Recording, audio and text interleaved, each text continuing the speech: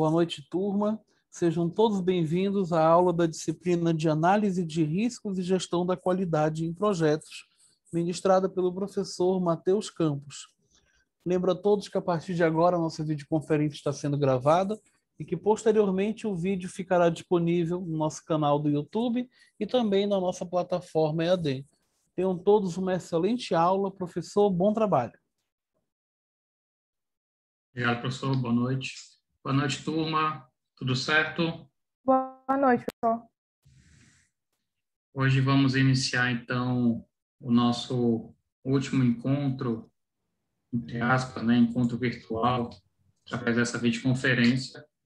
É, vamos estar encerrando hoje aí o assunto de gestão da qualidade e, e ao final do, do na aula de hoje vou dar novas instruções, na verdade repetir as instruções que a gente já falou sobre esse processo de avaliação, né? Como vocês já viram, eu estou no grupo lá do, do, WhatsApp com vocês também, então qualquer dúvida, até essa data de entrega aí desse material, vamos estar juntos. Tá? Se tiver ainda sobre assuntos, sobre é, conceitos, quiser saber mais informações sobre é, evento esportivo. Consegue desligar, por favor, o, o microfone? Obrigado.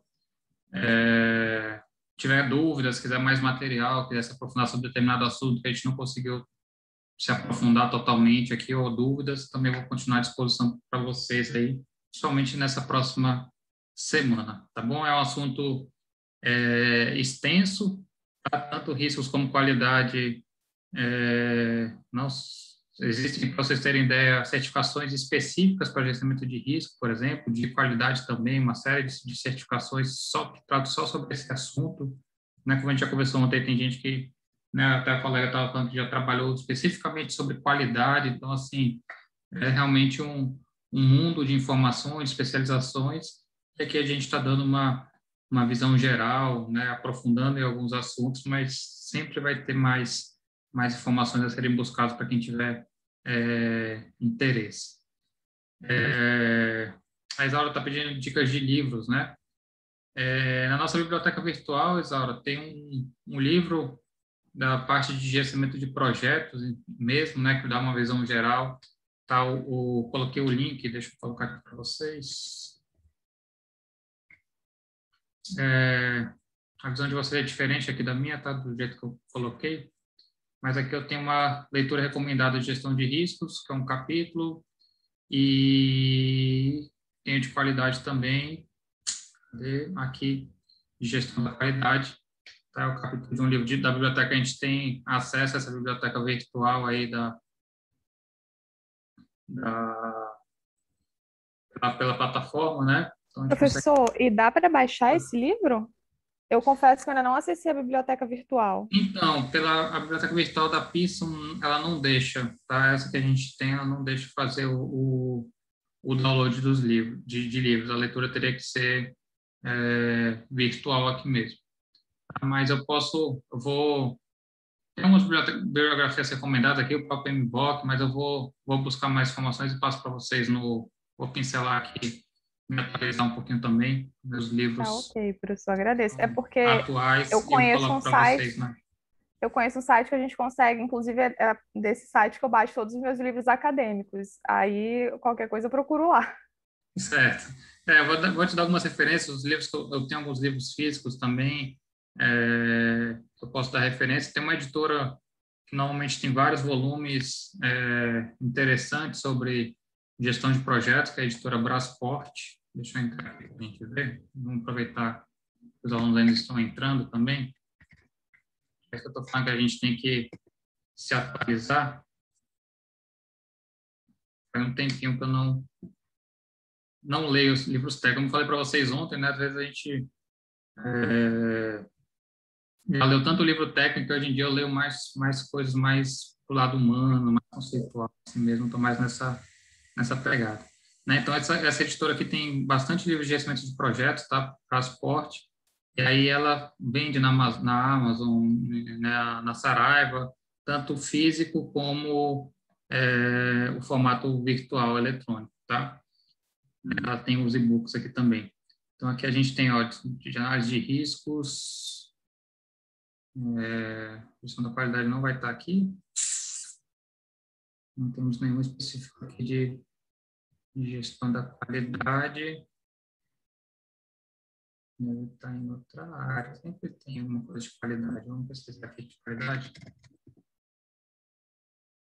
Tem um livro aqui que eu já conheço. Certificações, jornadas, é, confesso que desses aqui eu não conheço nenhum, não. A de riscos, também só tem esse de análise de, de riscos em gestão de projetos, esse livro eu tenho. É, edição antiga, mas que dá uma visão é, geral também. A dificuldade que a gente tem nessa, nessas literaturas é, é realmente ter algo mais, mais prático, né? algo mais para o dia a dia. Às vezes acaba ficando também no, no conceitual, como às vezes aqui na aula também a gente fala muito do conceitual, e, e às vezes a gente quer resolver uma demanda específica, né? e aí achar uma, uma literatura específica sobre isso é mais complexo. Aí realmente eu tenho que ir para estudos acadêmicos, é, para periódicos, né, que tratam o, é, o problema de maneira mais mais direta. Normalmente livros é que eles vão ser mais mais conceituais mesmo. Então, assim, vai te dar uma base de conhecimento, mas não te dê a informação necessária para você e algum livro de e algum livro de ferramentas de qualidade, professor, porque eu tenho, é, na época, quando chega a época de apresentar a TCC, eu vejo que muitos alunos meus, eles conseguem lá nas, nas fábricas onde eles trabalham mesmo, aplicar alguma ferramenta da qualidade, Pareto, alguma coisa assim, e acabam fazendo o TCC deles é, com isso. E eu achei bastante interessante. Legal.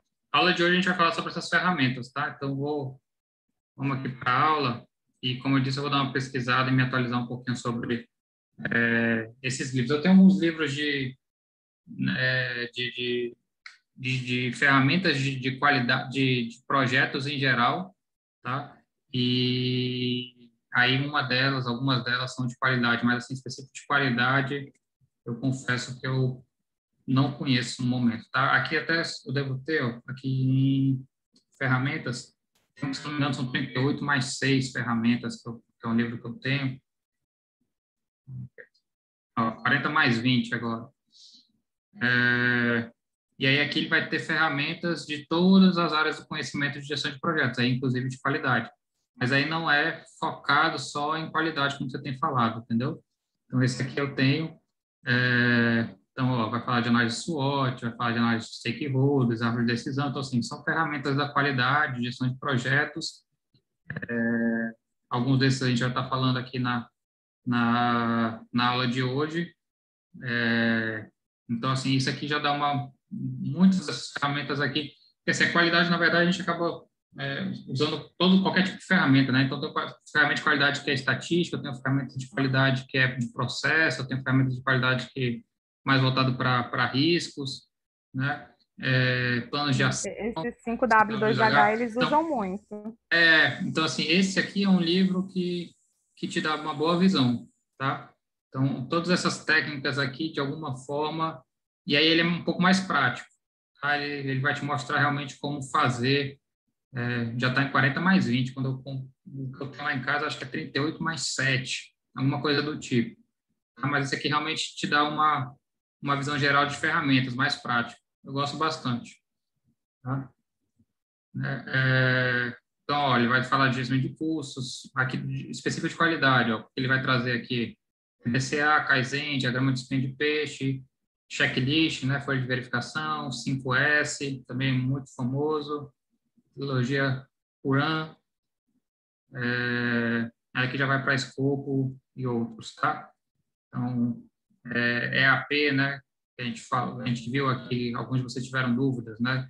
Aqui é a sigla em inglês, WBS, mas é a estrutura analítica de projetos, é uma ferramenta de escopo. Então, aqui vai te dar é, bastante ferramentas de verdade né, mais práticas. Né? Então, é, se você ler, por exemplo, o PMBOK, ele não vai te detalhar como que faz uma, uma estrutura analítica de projetos. Tá? Ele vai te dar uma visão é, geral disso. Deixa eu até mostrar para vocês, aproveitar que a gente está falando sobre livros. Deixa eu ver se eu acho rapidinho aqui. Estava procurando aqui a que eu estou vendo de ontem de análise de valor agregado e, e, e não achei. Estava pesquisando. É, sexta edição, cadê? Aqui, não.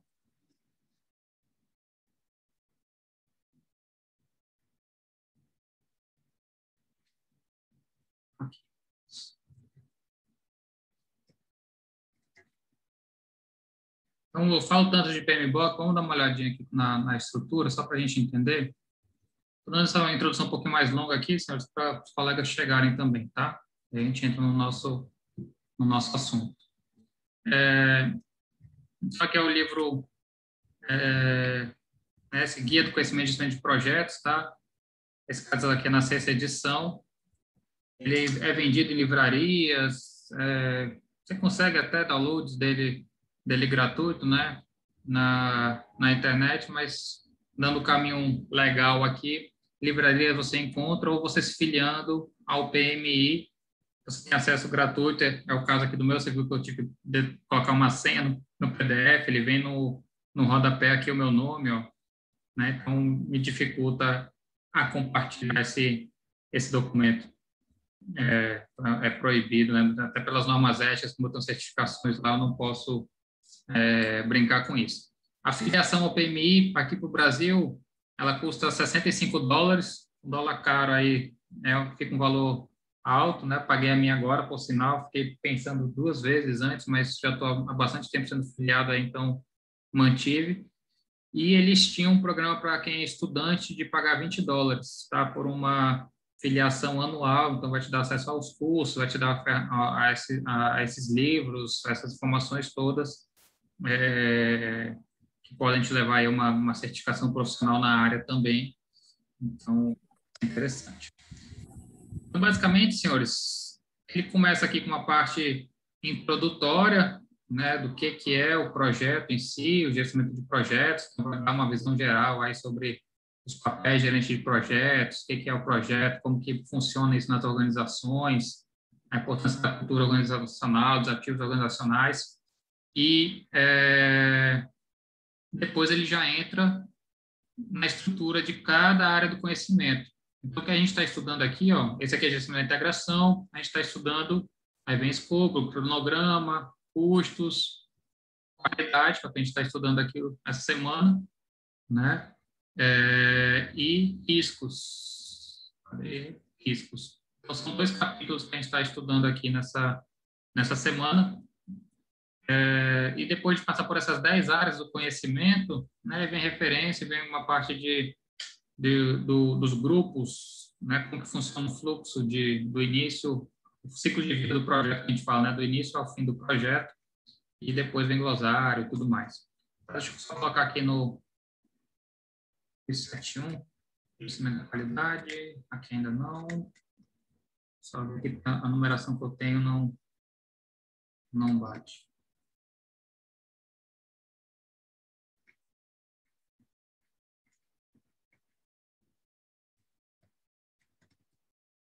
Então, aqui é o gerenciamento da qualidade. Ó. Isso que a gente está estudando, ele vai falar sobre os três, é, os três processos de gerenciamento que a gente viu ontem. Né? E aí ele vai mostrar, lembra que tem as entradas, as ferramentas e as saídas. Para cada processo, ele vai detalhar essas, essas estruturas, como funciona o fluxo. Então, veja que é bem, é, é bem conceitual. Ele não vai te dar muito aqui a prática, né, como funciona, o que, que eu tenho que fazer primeiro, coisas do tipo, ele não vai entrar nesse assunto. Então, quais são as tendências e práticas emergentes, né? Então, satisfação do cliente, que a gente falou ontem, melhoria, então, todas aquelas questões que a gente vai falando, né, não foram inventadas, fazem parte desse livro aqui, que é o, que é, é, é o conjunto de... Ele é publicado pelo PMI, então, assim, ele reúne um, um um congresso muito grande de, especialistas justamente projetos para fazer esse livro, revisar ele, essa ideia da sexta edição. Estão preparando a sétima edição já. É, creio que ainda não lançou, mas está próximo. Ele começa a detalhar cada processo daqueles. Então, planejar o serviço da qualidade. Aí ele vai mostrar aquele fluxo como mostrei para vocês ontem. Depois ele vai detalhar as entradas, vai citar quais são as ferramentas. Ó. Então, opinião especializada. Veja que ele não vai detalhar muito o que, é, por exemplo, o benchmark. Ó. Como que faz o benchmark? Ele não ensina. Ele vai dizer que o benchmark envolve a comparação de práticas de projetos reais planejados, blá, blá, blá, blá, acabou. Tá? Então, assim, se você quiser saber realmente o que é benchmark, tenho que usar ferramentas mais específicas. Por isso que eu gosto muito daquela, daquele livro que eu indiquei para vocês, porque ele vai realmente explicar o que, que é o benchmark, como fazer o benchmark, quais são as ações, como funciona a preparação, né? Então, ele vai detalhar melhor aqui do que o PMBOK. Ok? Deu para entender a estrutura aqui? E aí vai embora repetindo essa, essa estrutura para cada processo. Tá? Tem a saída, depois vem o próximo processo, assim sucessivamente. Então, veja que, no primeiro momento, não é uma leitura muito fluida, porque não é o início, ele não mostra o projeto do início ao fim, aqui ele vai citando como que é um corpo geral. Então, assim, normalmente eu falo que a gente tem que dar uma pincelada, passar o olho ali, tentar dar uma memorizada e usar ele como consulta mesmo para poder ir se aprofundando, né? Porque ele vai ser uma, ele vai te dar mais ou menos assim tudo que tu precisa, mas sem a, a te ensinar como fazer. Ok? Ok, professor, obrigada. Então vamos lá para a nossa aula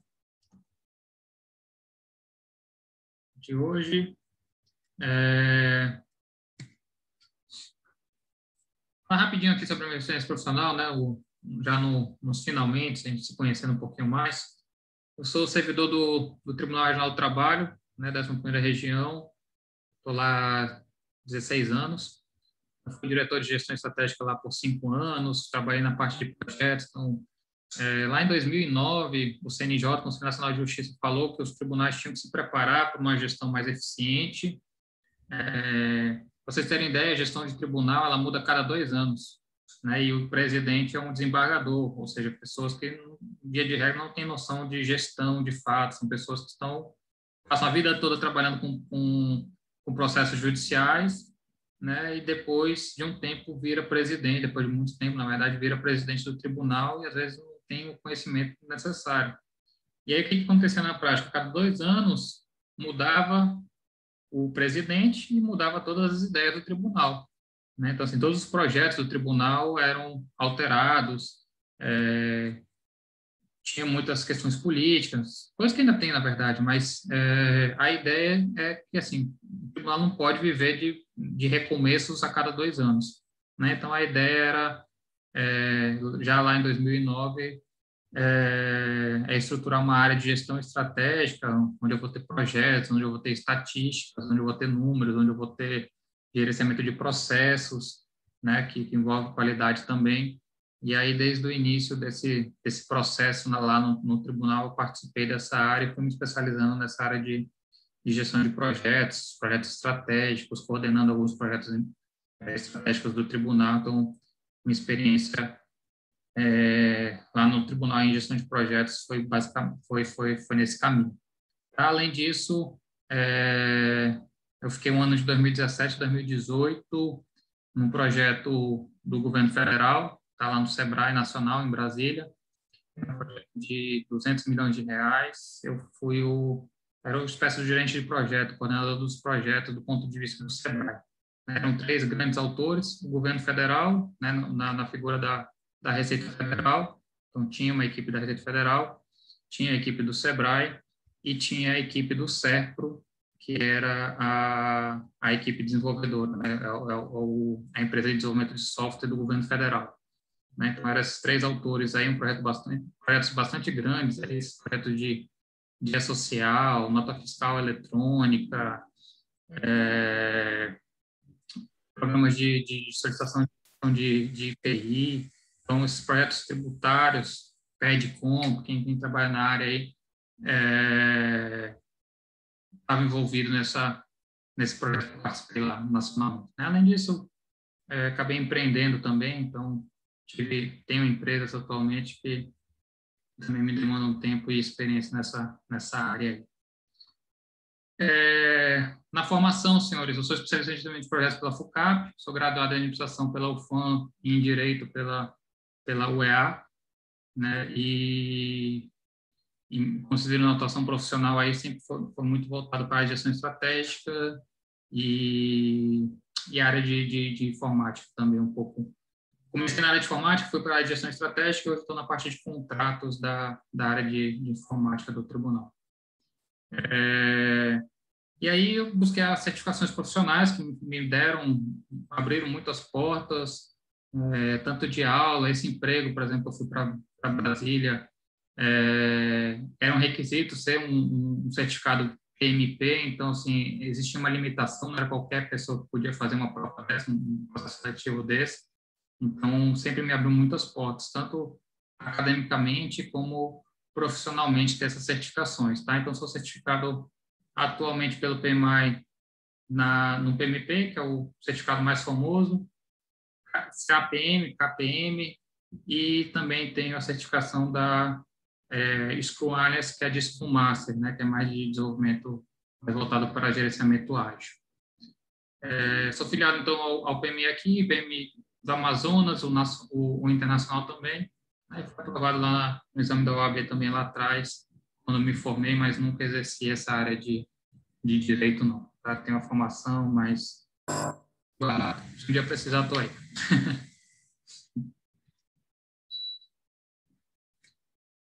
ok, senhores? Então, vamos para a nossa aula de fato. É... A gente tem bastante assunto para falar hoje ainda também. A gente entrou. Então, revisando o que a gente disse ontem, senhores, basicamente, o que eu quero falar desse slide aqui é que é, qualidade é definida como o grau em que o projeto cumpre os requisitos. Por que, que eu tenho um grau? Né? Porque, de acordo com a satisfação do cliente, de acordo com as necessidades do cliente, de acordo com a adequação ao uso do cliente, esse grau ele pode ser maior ou menor, né? Aquela história do hoje em dia a gente não, não, não presta atenção nisso muitas vezes, mas é, eu tenho ali, por exemplo, feijão tipo A, tipo B, tipo C, não é isso? E assim, eu não posso falar que um feijão tipo C é um feijão que não tem qualidade. Né? Ele tem a qualidade, mas a gente sabe que as especificações de um feijão tipo C elas são mais é, amplas, né? Elas aceitam mais, mais, mais, mais feijões quebrados, aceitam mais sujeira dentro do, do pacote, pedra, pedrinhas, né, e tudo mais. Então, são especificações mais abrangentes. Então, assim, ele tem qualidade porque ele atinge a, os requisitos que foi proposto, né? Então, assim, até coloquei lá para vocês um colega, ok. É... Deixa eu mostrar para vocês rapidinho. Se não me engano, é de café.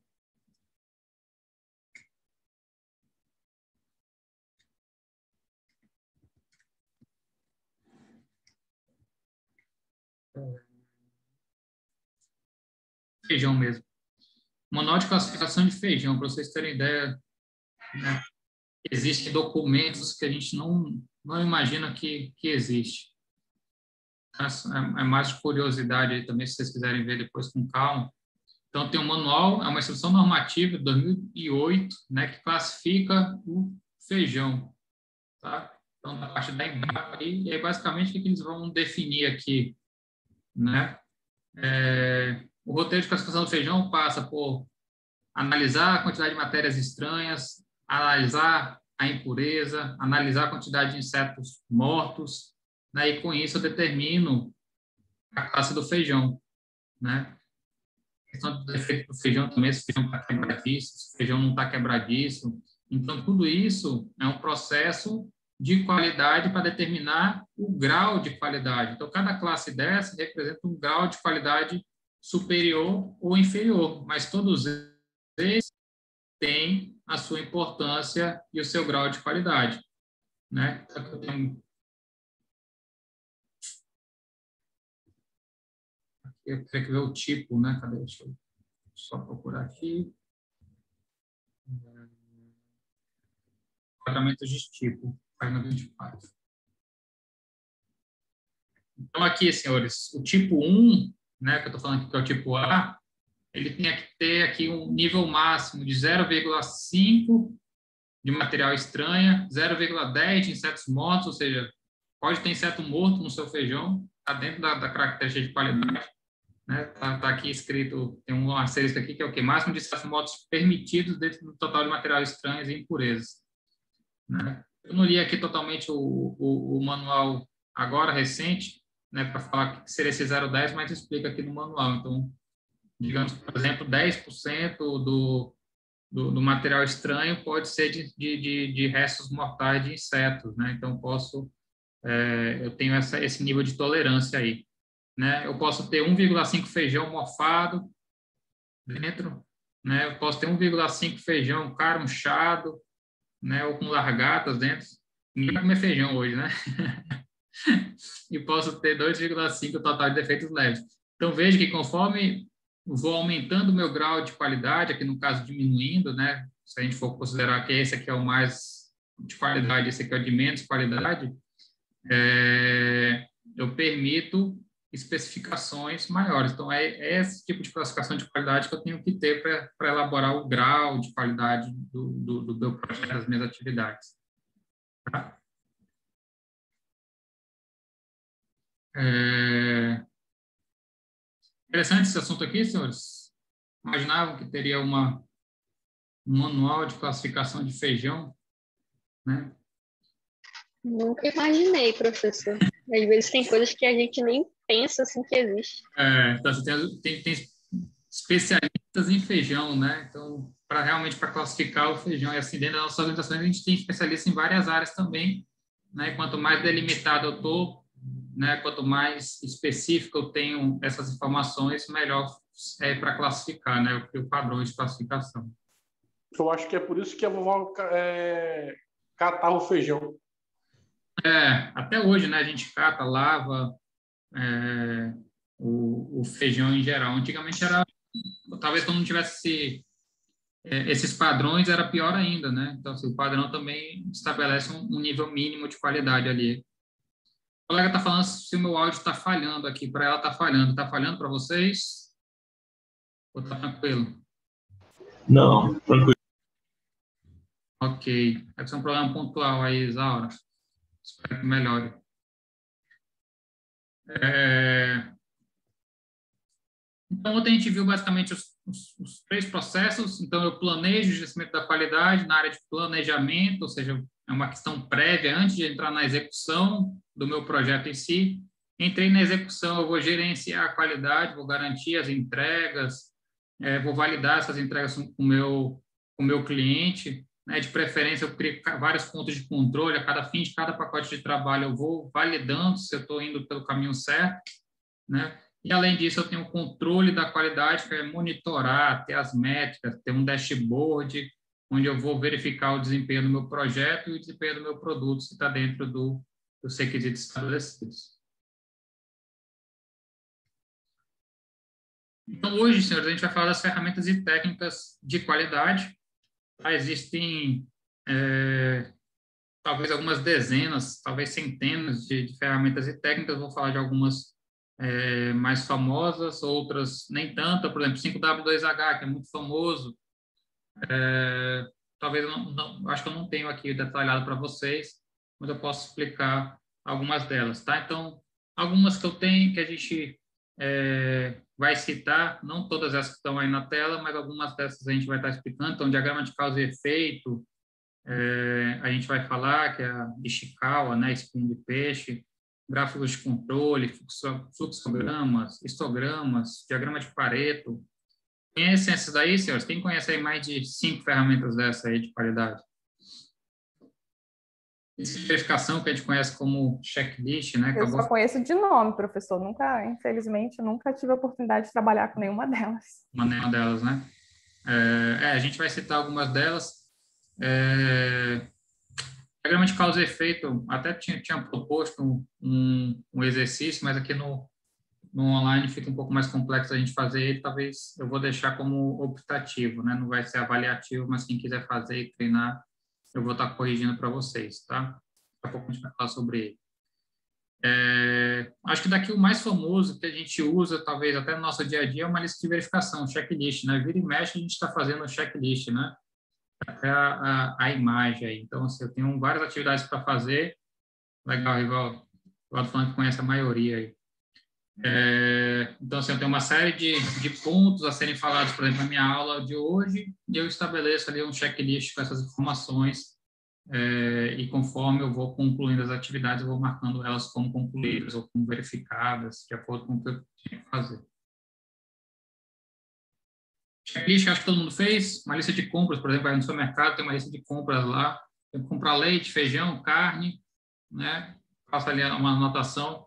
No início da pandemia, eu lembro que eu ia para o supermercado, é, e tava um monte de homem lá com um monte de checklist, né? A esposa acabava ficando em casa com, com os filhos, não podia ir junto, que é o mais comum, né, na estrutura, e um monte de homem perdido no supermercado tentando fazer as compras ali, mandando WhatsApp, mandando fotos, o que é extrato de tomate, o que é molho de tomate. É, eu ia para o supermercado e ficava rindo ali, vendo um monte de gente perdida, ficava sem bateria, só dentro do supermercado, olhando a, a, lista de compras, né? E eu fui um desses aí que também fiquei mandando. Né? A gente acompanha o supermercado, normalmente eu costumo ir com, com a minha esposa, mas fazer sozinho foi, foi uma experiência nova, viu? Um monte de coisa ali que eu não que eu fui aprendendo pelo via WhatsApp aí com uma lista de verificação com checklist de compras lá ia pegando ia marcando o que não tem qualquer é marca qualquer é, é...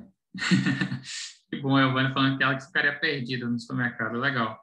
É, a gente tem muitos homens que são acostumados aí, né? Mas eu, eu lembro que, que, no início da pandemia, quando eu ia, é, acontecia muito de ter... Você via alguém muito tempo no celular ali e saber que era um homem que estava perdido, querendo fazer, fazendo, fazer as compras. Então, o diagrama de causa e efeito né, é um nome que eu prefiro, mas também é comum usar o Ishikawa, né, que é o, o nome em inglês para espinha de peixe. Tem essa estruturazinha aí, né? Na, na imagem eu destaquei ainda mais essa estrutura para ficar parecendo um peixe. Na prática não fica tão parecido com um peixe, não. Talvez tenha outros. Não, na prática fica mais parecido com isso aqui. Né? Então, se eu coloco isso aqui, talvez... Alguém vê um peixe aí? Mais difícil, né? Mas a ideia é... Eu não vejo peixe nenhum, não. Nunca vi aí, mas tudo bem. mas foi por conta dessa, dessa estrutura aí que eles colocaram esse nome de espinha de peixe. Então, aqui nessa imagem fica um pouquinho mais, mais evidente por que tem essa ideia, né? Basicamente, o objetivo do, da, dessa ferramenta da qualidade aqui é achar a causa, as causas, no caso, que, é, que ocasionam aquele problema. Né? Então, eu tenho um determinado problema ah, é, a minha a minha linha de produção está demorando 30 segundos a mais, né? Eu tô, deveria estar fabricando é, 10 motos por minuto, estou fabricando 15, é, 5 motos por minuto. Então, eu tenho um problema aí na minha linha de fabricação. E aí eu começo a analisar esse problema, esse efeito, né? De acordo com várias categorias e vou tentando achar as causas que ocasionaram aquele problema. Então, é, eu identifico o problema e vou verificando várias causas né, que ocasionam aquele efeito. É, normalmente, a gente tem algumas estruturas de classificação padrões aqui.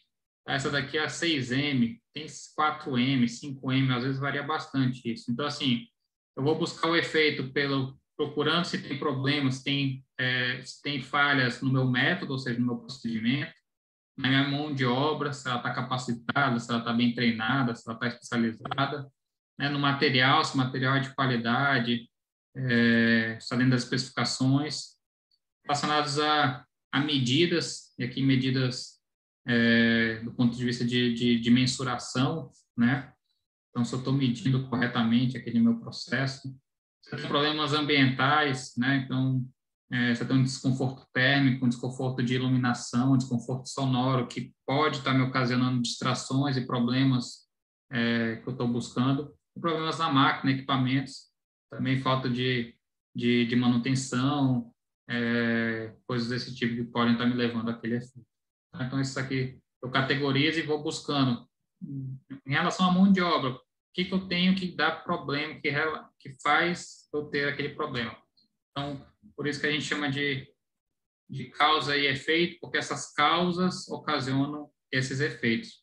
E aí, como é que eu faço? Eu acabo olhando as causas, classifico se aquela causa ela é controlável ou não controlável dentro do meu escopo, e eu vou criar um plano de ação para resolver aquelas causas que são controláveis. Né? Então, isso aqui deriva normalmente um, plano de ação, um 5W2H, né?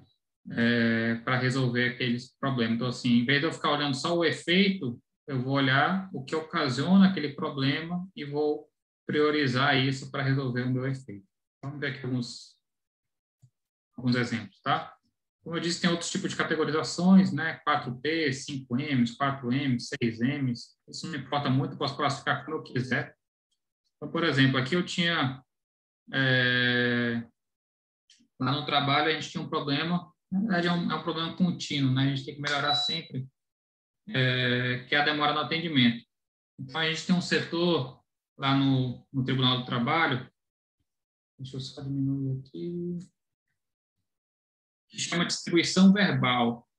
Hoje os processos eletrônicos acabou cada tá, tá diminuindo cada vez mais, mas o que que acontece? Você uma justiça que visa proteger os trabalhadores, né? O trabalhador ele não precisa necessariamente ter um advogado. Ao contrário de outras justiças especializadas que você tem que ter um advogado para entrar com o processo, lá no Justiça do Trabalho você não precisa. Assim como o juizado especial também você não precisa. Então, qualquer trabalhador que foi demitido, que tem algum problema, pode chegar lá e fazer a reclamação trabalhista dele. Então, assim, falar, olha, eu não recebi a minha rescisão correta, eu não recebi a FGTS, não recebi a INSS. E aí vai ter um servidor do Tribunal do Trabalho é, bem mais bonitinho estava o peixinho, né? Ainda não estava preenchido, a colega falando aí que o peixinho estava mais bonitinho do que a prática aqui. É, Estou contextualizando aqui um pouquinho, mas basicamente, é, grosso modo, era: eu tenho uma demora em fazer o meu atendimento. Então, assim, eu tinha uma fila de espera que ficava esperando esse servidor atender. É como se fosse uma fila de banco mesmo, né? Então, no grosso modo, é, por que está tendo fila no banco? Quais são os motivos que levam a isso? Então, eu vou citando essas causas e vou classificando elas.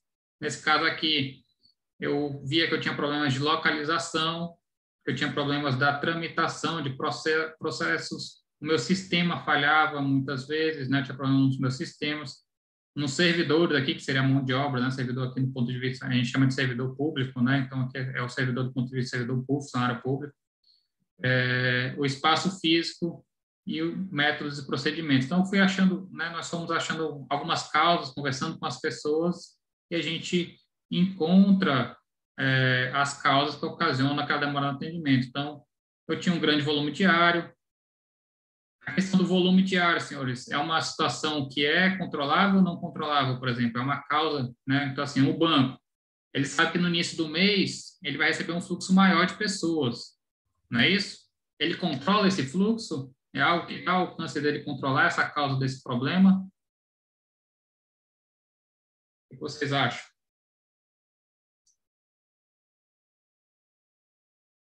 Eu vou entender a pergunta? Não, professor, se eu pudesse repetir, eu agradeço. Tá. Digamos que eu estou lá numa fila, tô, eu estou analisando o, o banco aqui, tá? Um banco de pagamento. Eu, e o que, que acontece? No início do mês, a gente tem um fluxo maior de pessoas que vão a uma agência bancária para fazer o pagamento dos seus boletos, não é isso? Isso acaba ocasionando o quê? Mais fila, mais demora de pagamento. Né? Normalmente a gente passa início de mês ou época de pagamento. Aqui, na verdade, Caixa Econômica, todo dia a gente vê lotado, né?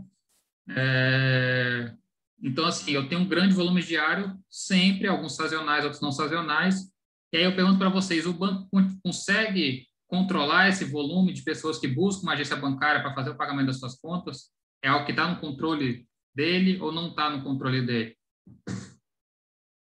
É, teoricamente não está no controle do banco, né? Mas eu acho que hoje em dia, com o advento do, de, dos bancos pela internet, aplicativos, eles meio que conseguem lidar com isso. Então, assim. Professor, acredito, acredito, acredito, que a gente que não tenha o controle, mas tem, tem como. Assim, não tem esse controle de é, de né? demanda, mas tem o controle de processo, professor. Isso. É, é, é, é um pouco do caminho mesmo aí, cara. Então, assim, esse item especificamente, né, controlar a entrada, não sei que eu barra e distribua a senha, né, fala assim, só vou atender 100 pessoas por dia, e aí eu consigo controlar o volume, mas assim, já é um problema conhecido. Eu sei que todo início do mês eu vou ter um volume X. Eu consigo quantificar esse volume estatisticamente, de alguma forma, eu ter uma noção de que ah, normalmente eu atendo 20 pessoas por dia, por, por cada caixa, e início de mês eu tenho que atender 100 por dia. E com isso eu consigo preparar o meu processo, aumentar a quantidade de, de guichês, né? É, que vão fazer esse atendimento para não aumentar essa demora no atendimento. A gente sabe que tem lei das filas aí que nunca são cumpridas, né? Que a gente deveria ser atendido em 20 minutos. Então, assim, o banco deveria estar preparado para resolver aquela causa, né? Que não essa que não é controlável, mas eu teria que aumentar a minha rede de, de, de atendimentos. Né? A gente usando o exemplo do, do supermercado aí, por exemplo, né? É, não sei se vocês lembram, um tempo atrás fizeram uma lei que todo caixa do supermercado tinha que ter um atendente, né? A gente vai no supermercado, tem 40 caixas e tem três funcionando, né? É cada vez mais comum isso acontecer. Eles colocam de acordo com a demanda deles, né? Mas às vezes eles erram nessa conta e a gente fica lá mais tempo na fila do que no restante. Tá? Então, isso aqui é, uma, é um problema que eu tenho, mas que muitas vezes eu não consigo resolver. Então, eu tenho que resolver o quê? A minha vazão, né? A minha saída. Então, eu tenho que conseguir aumentar a minha saída. Então, assim, esse aqui é não controlável, mas a minha vazão, quantos atendimentos eu vou estar fazendo por hora, melhoria dos meus procedimentos é controlável. Então, estou é, vendo se tem alguma coisa aqui. Aqui é, não é sobre o tema que a gente está falando, né, mas seria mais ou menos aqui sobre métodos. Né? Então, esse problema seria não controlável, mas aumentar a minha vazão aqui, ó, né, melhorar o, o, o, tempo médio de atendimento seria algo que está, estaria ao meu controle para melhorar essa demora, para não ter essa demora no atendimento. Então, veja, senhores, que todos esses itens aqui, eles são causas tá, que me demandam, que me geram essa demora no atendimento. Então, quando a gente chega num, num setor desse para fazer uma pesquisa dessa, fazer um trabalho desse, é, as pessoas vão vir Oi, pois não. É, assim, é um, um pouco mais abrangente, mas a forma de, de balanceamento, de análise do processo é semelhante ao não, não, não entendi, Carlos, falhou um pouquinho aqui para mim. Só entendi do balanceamento, mas essa é a forma de análise do processo automático, é o mesmo do processo manual, tem particularidades por ser manual e, lidar com pessoas. Né? Não entendi. Poderia exemplificar? Eu entendi o que você falou agora, agora deu para escutar, mas assim, é, se eu, eu, analisar essa, uhum. essa... É, é, assim, eu, eu, hum. eu, faço o balanceamento de processo na indústria, por tá. exemplo. Aí, uhum. é, geralmente, são processos automatizados, pouco manuais, entendeu? Aí, se tiver um processo, por exemplo, de banco, que é ali um atendimento manual e, presencial ali, né, de pessoa com pessoa, e que varia uhum. de pessoa para pessoa, é a mesma metodologia para balanceamento ou tem alguma particularidade? Não, é, é, acaba sendo a mesma metodologia. O que acontece é que o, o, nível de padronização que eu consigo na automatização é muito maior, né? Então, o meu processo tende a, a, a ter um desvio padrão é, muito menor, né? A variação ali é muito menor. Então, por exemplo, se eu faço um processo de atendimento é, e falo o seguinte, olha, atendimento automatizado online, ele demora em média 10 minutos. Via de regras, quando você tem um processo bem redondinho, ele vai variar ali de 8 a 12 minutos, então vai ser uma variação pequena. Já quando eu vou para o manual, eu vou ter atendimentos que demoram um minuto e vou ter atendimentos que demoram 60 minutos e que me dá uma média de 10 minutos. Então, assim, a variação é muito mais abrangente quando eu tenho esse lado pessoal. Então, assim, acaba... É, a forma de balanceamento não, não muda, mas a, a, a busca de informações, a, essa complexidade da análise estatística é um pouquinho maior, sim, porque a variação é, é, tem muito mais variáveis fora do meu controle do que no processo automatizado. Entendi, professor. Obrigado. Tá, senhores? Então, assim, aqui não tem muito filtro quando eu estou fazendo esse trabalho, tá? eu vou buscar informações, vou entrevistar essas pessoas e depois vou classificando os problemas que eles me geraram. Então, assim, é, normalmente quando a gente chega e pergunta para as pessoas, se você chegar, por exemplo, o caixa do banco e perguntar assim, por que, que demora tanto no atendimento? Vocês acham que em algum momento ele vai falar que é problema dele? Não, ele vai colocar um milhão de coisas que não é problema dele, né? Então ele vai falar que é por conta do governo, ele vai falar que é por conta do plano de sistema, ele vai falar que é por conta de uma série de outras coisas. Então a gente tem que conseguir filtrar esses tipos de informação para conseguir ser abrangente. Por isso que a gente usa as classificações aqui, as, as, caixinhas que vão me classificar para ser abrangente, ter uma visão mais 360, uma visão mais geral e não ficar somente olhando processo, ou ficar olhando somente sistema, ou ficar olhando somente a parte de capacitação, né? Então a ideia aqui é, é eu conseguir buscar essas informações, então assim é um eu busco informações gerais, classifico ela aqui no meu diagrama de causa e efeito e depois eu vou analisar, como eu estava fazendo com vocês, se aquilo é controlável ou não. Se for controlável, eu tenho que buscar como melhorar isso. Então, assim, esse item aqui, ó, falta de servidores com conhecimento jurídico. Né? Então, a pessoa vai fazer uma reclamação trabalhista, o servidor que vai atender ela não tem conhecimento jurídico, ele não é da área jurídica. Então, assim, como é que ele vai saber se realmente é, eu tenho que aplicar uma determinada multa do código da, da, da, da CLT, né? Ou se o processo trabalhista realmente envolve aquilo ali. Então, isso aqui é algo que está controlável. Eu consigo, por exemplo, a gente fez lá, depois disso, eu posso fazer um treinamento para esse servidor, é uma ação que deriva disso eu posso, como a gente fez também convênios com faculdades, eu pego estudantes, estagiários de direito para fazer esse, esse atendimento. Então, assim, ao invés de eu pegar lá um servidor de carreira que nunca foi da área jurídica, tem está 40 anos ali, já, já em via de aposentadoria, eu coloco um, um, jovem com conhecimento jurídico estudando isso na academia, eu vou ter um atendimento muito melhor. Então, isso aqui é uma espécie de um item controlável. Então, eu faço um plano de ação para melhorar aquilo, para matar aquele problema e com isso eu vou resolvendo a demora no atendimento. Dá para entender? Bastante interessante, viu? É um processo que é, é, é relativamente simples usar essa, essa ferramenta, é, apesar dela ser abrangente, né? É, mas dá um resultado bastante interessante, dá uma visão geral do seu problema, né? E, e você consegue gerar vários planos de ações, várias ações derivadas desses, desses problemas. Então, esse é a diagrama de causa e efeito Ishikawa ou espinha de peixe, tá? Todas elas é, são sinônimos aí no caso. Técnicas do cinco porquê também é uma técnica é, criada ali pelos, pelos asiáticos, né, que também visam buscar a causa raiz do problema, né? Confesso que essa técnica, para mim, ela é muito difícil de ser aplicada, né? Quando a gente está num processo, é, quando eu, eu, levo a sério realmente esses cinco porquês aqui, é, ele destrincha demais. Então, assim, realmente é, é um grande desafio responder isso.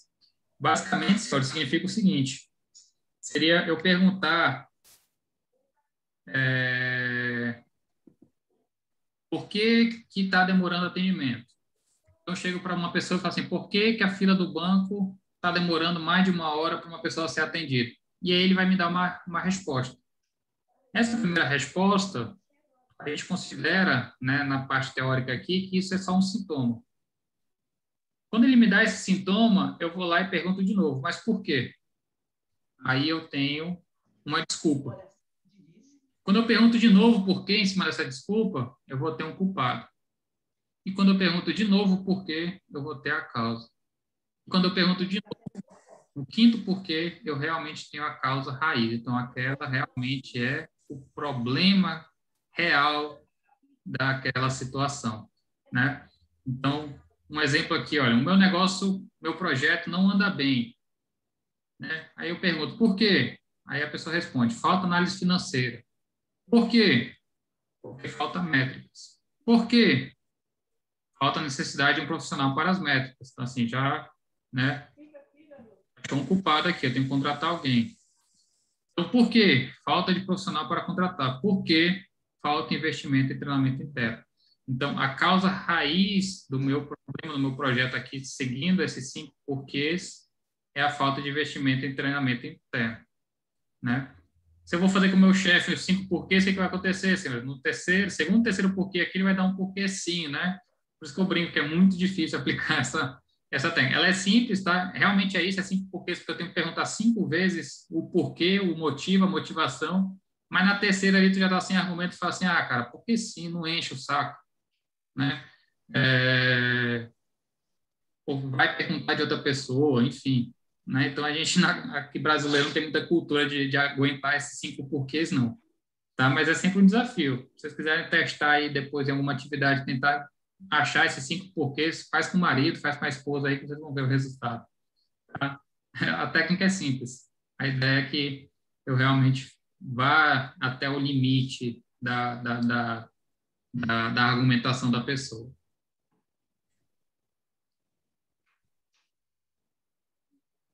Um outro exemplo aqui dos cinco porquês, tá? Mais na parte de processos. Então, quando eu descubro a causa raiz, né, a causa que realmente é importante, aí eu crio uma solução para aquele problema e não para demais são desculpas, via de regra.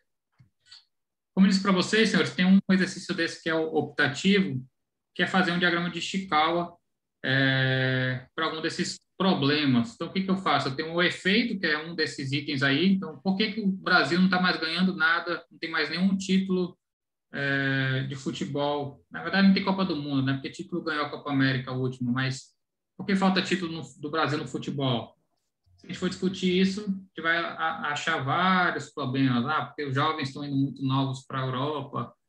É, ah, porque falta investimento. Ah, porque falta treinadores qualificados, ah, porque os estádios não são corretos, ah, porque os clubes são todos endividados, falta estrutura dos clubes, ah, porque tem roubalheira dos cartões. Então, assim, viu? Gerou um monte de problemas, né? Eu consigo categorizar isso, né? Essas causas, e tudo isso me gera um efeito. Então, é, eu classifico isso, né? Então, meu, meu efeito aqui, né? meu problema é a falta de título do, de futebol do, do Brasil, da seleção brasileira no futebol. Quais são os problemas relacionados a método? Né? A gente tem métodos, a gente prepara nossas bases de garotos, a gente tem mão de obra qualificada, é, a gente tem a mensuração de qualidade, ou seja, eu tenho análise estatística de desempenho dos meus atletas, é, eu tenho equipamentos adequados, tecnologias adequadas que me levam a ter um futebol de alto nível, né? E a gente sabe que muitas das vezes o Brasil sempre foi baseado no, no talento do jogador individual, né? Então, hoje que ele está tá mais pragmático, está entrando em estatística, normalmente quem gosta de assistir é, esportes americanos, né, é, basquete, futebol americano, a gente vai ver a transmissão, é uma infinidade de números, cara tem estatística para tudo, desde 1910 o cara sabe quem foi que fez mais do que é, duas cestas fora da linha de não sei da onde. Então, assim, é um nível absurdo de informações, de estatísticas e números que eles usam para suas tomadas de decisão. E aqui, como que a gente faz no futebol? Cara vai lá na peneira, vê um moleque jogando, se o moleque faz gol, chama ele. E é isso. Então, assim, é muito intuitivo. Então, são coisas que a gente tem que, que trabalhar nesses, nesses efeitos, tá? Então, basicamente, o exercício seria escolher um desses temas aqui e fazer essas, essas análises em cima. Para quem quiser fazer a entrega, eu faço a correção e a devolutiva sem nenhum problema, mas é optativo. Tá? A gente não vai fazer isso como avaliação. E nem aqui em sala de aula, porque acaba que a gente é, perde um pouco do tempo do, do conteúdo. É, fluxograma, quem aí já fez um fluxograma? Só para trabalhos acadêmicos. Né? A gente vira e mexe, tem alguma coisa desse tipo, né? Então, tem normativos que tratam sobre... Já, já, já fiz fluxograma de, de linha de produção, já, para fazer layout de linha de produção. Legal. É, a engenharia da produção usa bastante essas ferramentas de qualidade em geral, né? É... Eu estou com o meu até deu um peso na consciência que eu estou com o meu mestrado em engenharia da produção parada há alguns anos. Um dia eu retomo ele, se Deus quiser. É... Isso, a eu vou falando que usa o, o né? É uma grande ferramenta para fazer esse, esse processo, né, o B, BPM, processo, fluxogramas mais simples, é, até os mais complexos. E aí, no, no, no eu vou ter as raias e tudo mais para fazer esse, essa análise de processo. Realmente, quem trabalha na área costuma usar bastante, software bastante robusto e, e gratuito, que é melhor, né? Então, basicamente, o fluxograma tem umas regras, tem uns processos. Eu, eu, eu, eu, eu sou recurso, professor. Eu fui para o processo, aprendi bastante, mas voltei para o projeto mecânico agora. ah, o processo não é praia, não. é. Então, basicamente, o, o, o, fluxograma ele vai me dar uma visão geral do passo a passo, do que, que acontece na, na, no meu procedimento que eu estou olhando, né, no processo que eu estou querendo padronizar ou entender, e, ou informatizar até.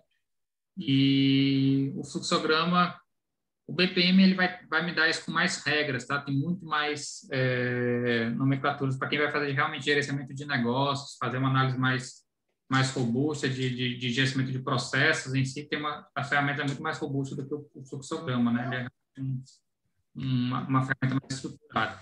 O fluxograma basicamente ele vai ter um início, né? Um, um ponto aqui de um terminal que a gente chama. Eu vou ter os processos que são as ações que eu vou estar tomando e as minhas tomadas de decisões. Então, recebi o pedido, vou verificar se o cliente está cadastrado. Se ele não tiver cadastrado, eu cadastro ele. Se ele já tiver cadastrado, eu vou para o do pedido. Depois que eu cadastro também, eu vou para o pedido processado. O crédito foi aprovado, né? Se não, eu envio para o cliente falando que o pedido dele não foi aprovado. Se o crédito foi aprovado, eu vou retirar o produto do estoque, vou embalar o produto, enviar para a transportadora, entregar ao cliente. E eu finalizo esse meu processo aqui de recebimento de pedido aí do, de estoque, né, retirado almoxarifado. Ah, então, basicamente, o fluxograma é, ele vai me dar essa estrutura passo a passo do início ao fim, com as suas tomadas de decisões, né, com as suas é, bifurcações que vão mudando o meu processo de um lado para o outro conforme as tomadas de decisões aí. Também é muito interessante o fluxograma para a gente identificar se esse processo realmente está da melhor forma possível, se eu posso cortar processos que são é, repetitivos ou que, são, que estão me tirando tempo, né? Então, eu quero fazer uma análise mais profunda do processo, né? Via de regra, a gente usa realmente um, um BPM da vida para conseguir fazer a melhoria e enxugar esse meu processo. Quanto mais longo esse meu processo, quanto mais desperdício eu tiver, mais demora eu tenho, mais ineficiência eu tenho, menos qualidade eu tenho. Diagrama de Pareto, também é bem legal essa, essa ferramenta. É, é uma definição que às vezes parece arbitrária, mas quando a gente vai ver na, na prática é interessante como que costuma bater algo próximo do, dessa definição. Então, o diagrama de Pareto tem uma definição básica de 80-20. O que, que seria isso? 80% é, do, do, dos defeitos são ocasionados por 20% das causas. Né? Então, assim, se eu atuar nesses 20% de causa, eu resolvo 80% dos meus problemas. Então, eu peguei uma, uma, informação real lá, por exemplo, do meu trabalho, é a quantidade de chamados né, na área de, de informática aqui. Né? Então, a quantidade de chamados que os usuários fazem por tipo de problema. Então, tem um problema de impressora, de computador, na rede, internet, telefonia, teclado, e-mail, mouse, câmera, backup. Então, assim, tenho uma infinidade de problemas. É... A gente, que a gente percebe aqui? Se eu pegar impressora e computador, ela corresponde a 80% dos meus chamados. Então, assim, Vale a pena eu gastar esforço para tentar melhorar aqui os problemas de câmera? Ou seja, vou trocar todos os mouses da, da, da, do meu trabalho porque eu tenho 12 chamados aqui por mês. É, não. Então, assim, eu tenho que focar é, as minhas atenções onde eu tenho maior chance de problema. Então, assim, o que, que acabou acontecendo? A gente terceirizou, por exemplo, essa parte de impressora. Então, hoje, esse tipo de chamada aqui é terceirizado. Né? Então, eu tenho equipamentos novos, eu tenho uma manutenção é, feita por uma empresa aí com contratos, com nível de serviços robustos para ela cumprir. Então, assim, ao eu terceirizar, eu eliminei esse problema e diminuí a quantidade de chamados que chegava para a minha equipe de suporte. Né? Terceiriza a impressora e formata o PC. É, é por aí, né? É, na parte de computador, hoje tem uma, uma regra, lógico, você tem que ter dinheiro, você tem que ter algum nível de investimento, não, não foi gratuito, né? É, tem que ter uma análise se realmente é a melhor solução. Então, assim, eu só estou dando um, exemplo. Muitas vezes eu sou, sou até contrário a essas terceirizações demasiadas, é, mas querendo ou não, nesse, nesse problema aqui específico, é, foi feita lá uma análise e, e se acreditou que, que, valeria a pena o, o, investimento. Na parte de computador, lá a gente tem uma, uma situação, agora com, a, com as crises dos últimos quatro, cinco anos, isso não tem acontecido com tanta, é, com tanta regra, mas basicamente o Poder Judiciário, os tribunais, principalmente os federais, eles tinham uma regulamentação, os tribunais do trabalho, tá? uma regulamentação que eles tinham que trocar um terço do parque tecnológico por ano. Então, se eu tenho mil computadores, todo ano eu tinha que trocar 333 computadores. É, e o que, que isso me ocasiona? Me ocasiona que meu parque tecnológico tem uma vida máxima de três anos. Né? Então, se eu consigo contratar uma garantia de três anos, eu vou ter durante todo aquele tempo, aquela vigência daquele, daquele equipamento, né? é, uma garantia, e a gente sabe que equipamento novo tende a dar menos problema também, então com isso também eu consigo resolver mais esse tipo de chamada. Então é um exemplo simples, mas basicamente é isso. Eu vou verificar, né, tentar quantificar é, o que, que ocasiona o meu problema e vou focar a minha resolução naqueles que me ocasionam 80% é, dos problemas, ao invés de tentar ficar focando em tudo. Às vezes a gente fica enxugando gelo quando o problema, na verdade, é muito maior e eu tenho que enfrentar esse problema. Não adianta ficar aqui, diminuir o meu e-mail 13, não é nada, né? 13 aqui não está dando nem 2% do total de, de, de problemas que eu tenho. Então, assim, vou ficar gastando energia aqui quando eu tenho esse problemão para resolver. Então, assim, Pareto é isso, é uma espécie de priorizar realmente o que é importante. Então, eu meço e vou naquelas, naqueles naquelas uh, problemas que ocasionam, é, naquelas causas que ocasionam os maiores problemas. Então, normalmente a definição é 80-20. Aqui eu coloquei de maneira é, proposital, né? Eu tenho o que aqui? 2, 4, 6, 8, 10 problemas, né? E esses dois itens aqui, ou seja, 20%, me ocasionam 80% da quantidade de chamadas que eu tenho. Então, em vez de eu atacar os 10 problemas, eu ataco somente os dois principais e com isso eu diminuo em 80% a quantidade de chamados. É, agora falando que também deu certo no trabalho dela, né? É engraçado que é, costuma bater esse 80-20 aqui, é, é, meio cabalístico, né?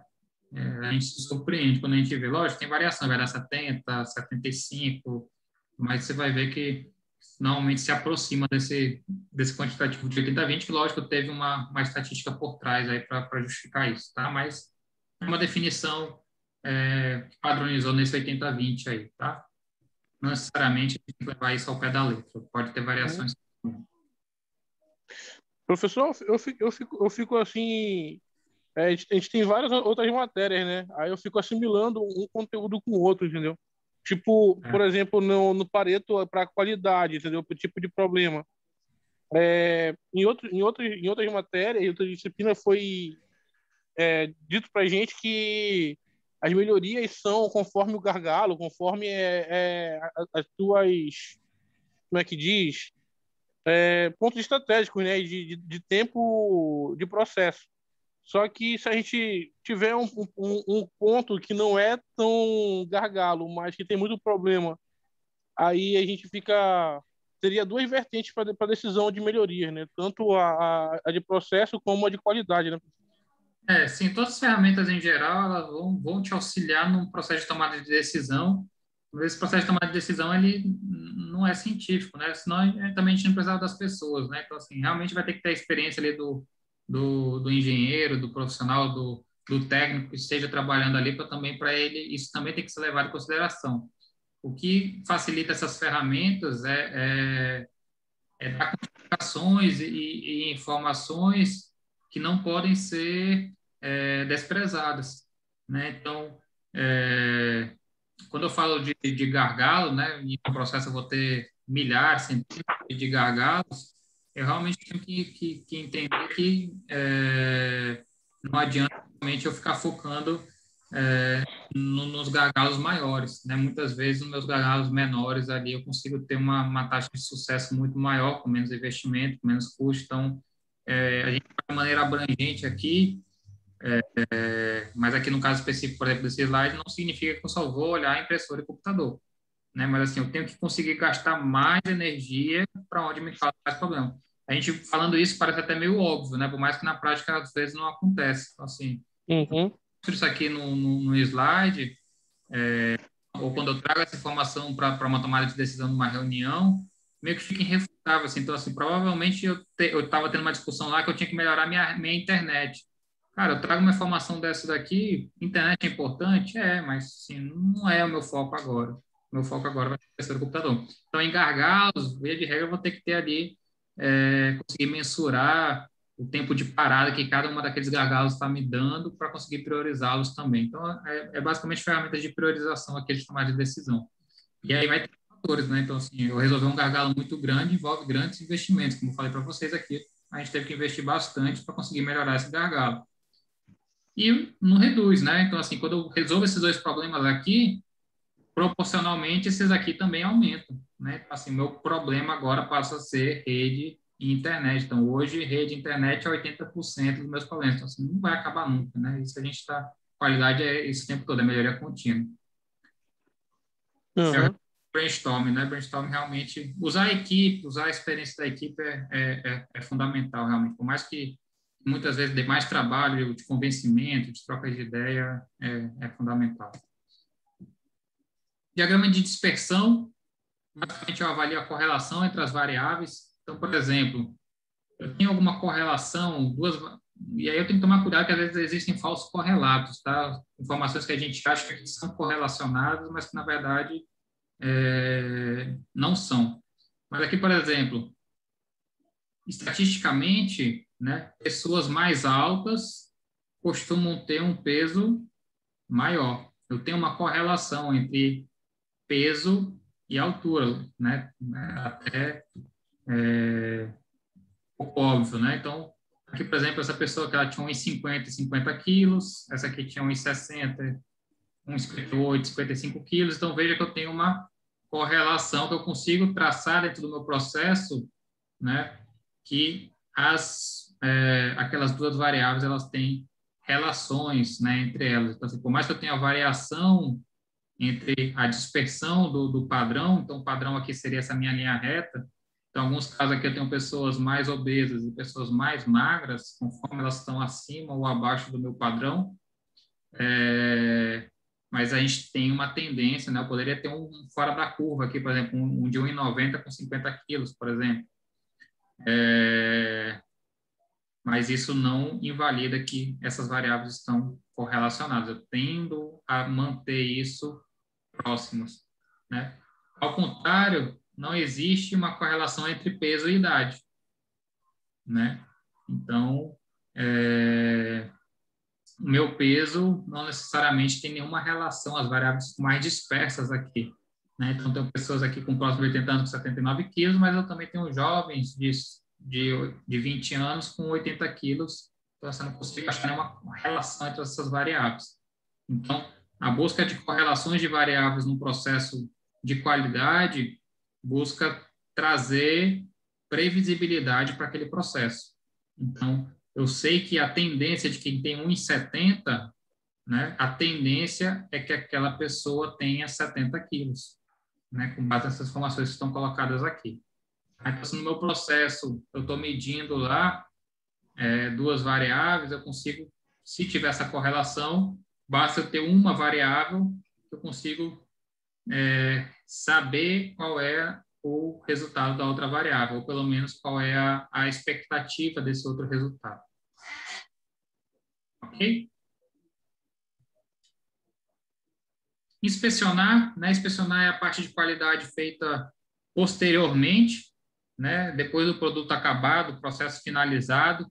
Então, é avaliar, né, essa parte do, espécie do Sherlock Holmes mesmo, né, olhar o, fazer um pente fino, se aquele produto foi bem finalizado, se aquele serviço foi bem finalizado, se aquele projeto foi bem finalizado, É, então, é um processo aí de revisão, de auditoria.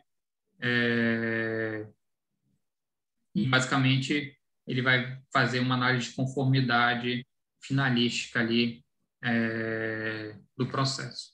Tá?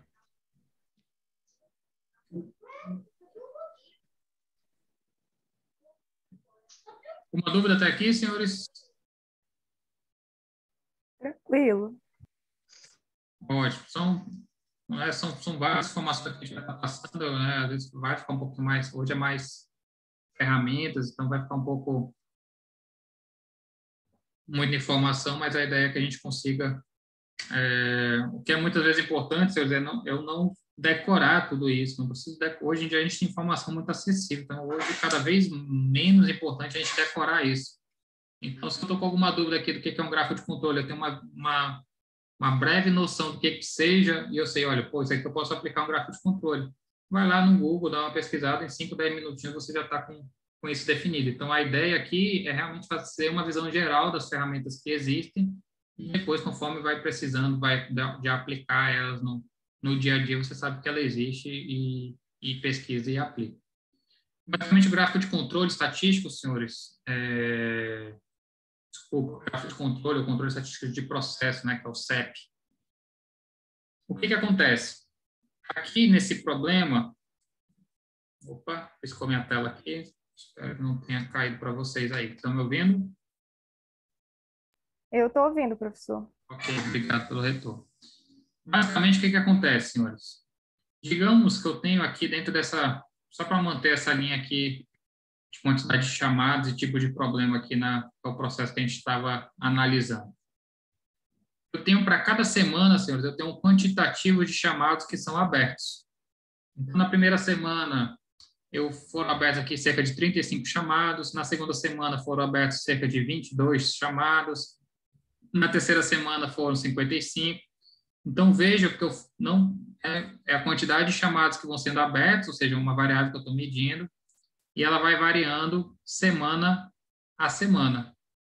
O que, que eu quero buscar com o gráfico de controle? Eu quero manter essa quantidade de chamados, manter essa minha variável dentro de uma especificação de um nível de controle aceitável, tolerável. Então, o meu é, o meu principal objetivo é manter essa variação cada vez mais próximo da meta. Aquilo que eu estava falando com, com, relação a processos manuais e automáticos tem muito a ver com isso aqui. Veja quando o processo é manual, como a variação é grande. Ó. Teve dias aqui, teve semanas que eu tive 10 chamados e teve semanas que eu tive 80 chamados. Tem uma variação aqui de 800%, 700%, né? 800%. Então, é uma variação muito grande. Quando eu tenho processo mais automatizado, essa variação costuma ficar muito próxima da média aqui, então fica um ambiente muito mais controlado. Quando é muito manual, quando é muito, né, eu tenho essa variação muito grande aqui que dificulta a minha, a minha análise e minha manutenção. Meu objetivo aqui, senhores, é manter dentro da média, que é o mais próximo da média possível, dentro das minhas especificações. Então, quando a gente fez o trabalho lá, eu queria ter o quê? Uma média de 45 chamados por, por semana. E meu limite era ter no mínimo 20 e no máximo 70. Então, tive três semanas aqui, ó, que esses limites foram superados. Então, eu tenho que analisar o que, que aconteceu nesse meu processo, nessas semanas, que me ocasionaram essa ruptura dos meus limites, porque isso não é tolerável.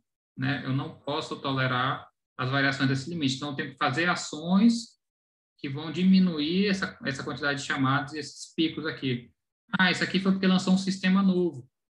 Né? Então, teve esse pico aqui porque lançou um sistema novo, o pessoal não estava treinado e começou a abrir um monte de chamado é, por conta desse novo sistema. Então, eu tenho que ter um aprendizado disso, da próxima vez que for lançar um sistema, eu tenho que dar o treinamento correto, tenho que validar, tenho que talvez é, não abrir, não lançar o sistema para todas as unidades de uma vez só. Então, é, é esse tipo de análise que a gente faz com esses processos. Tá?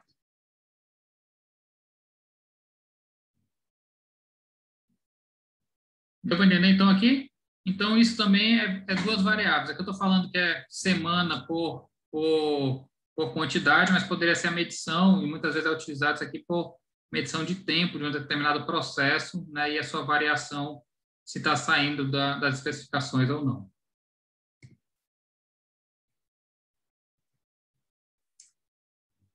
OP, o procedimento operacional padrão. É... Então, basicamente, é um documento onde eu vou ter é, o processo, normalmente um fluxograma, um passo a passo, uma receita do bolo, do que, que eu tenho que fazer naquele determinado processo. Tá? Então, eu tenho um, um, um processo aqui, por exemplo, para preparar o café, essa imagem da direita aí. Né? Então, eu tenho todo um roteiro de como preparar o café.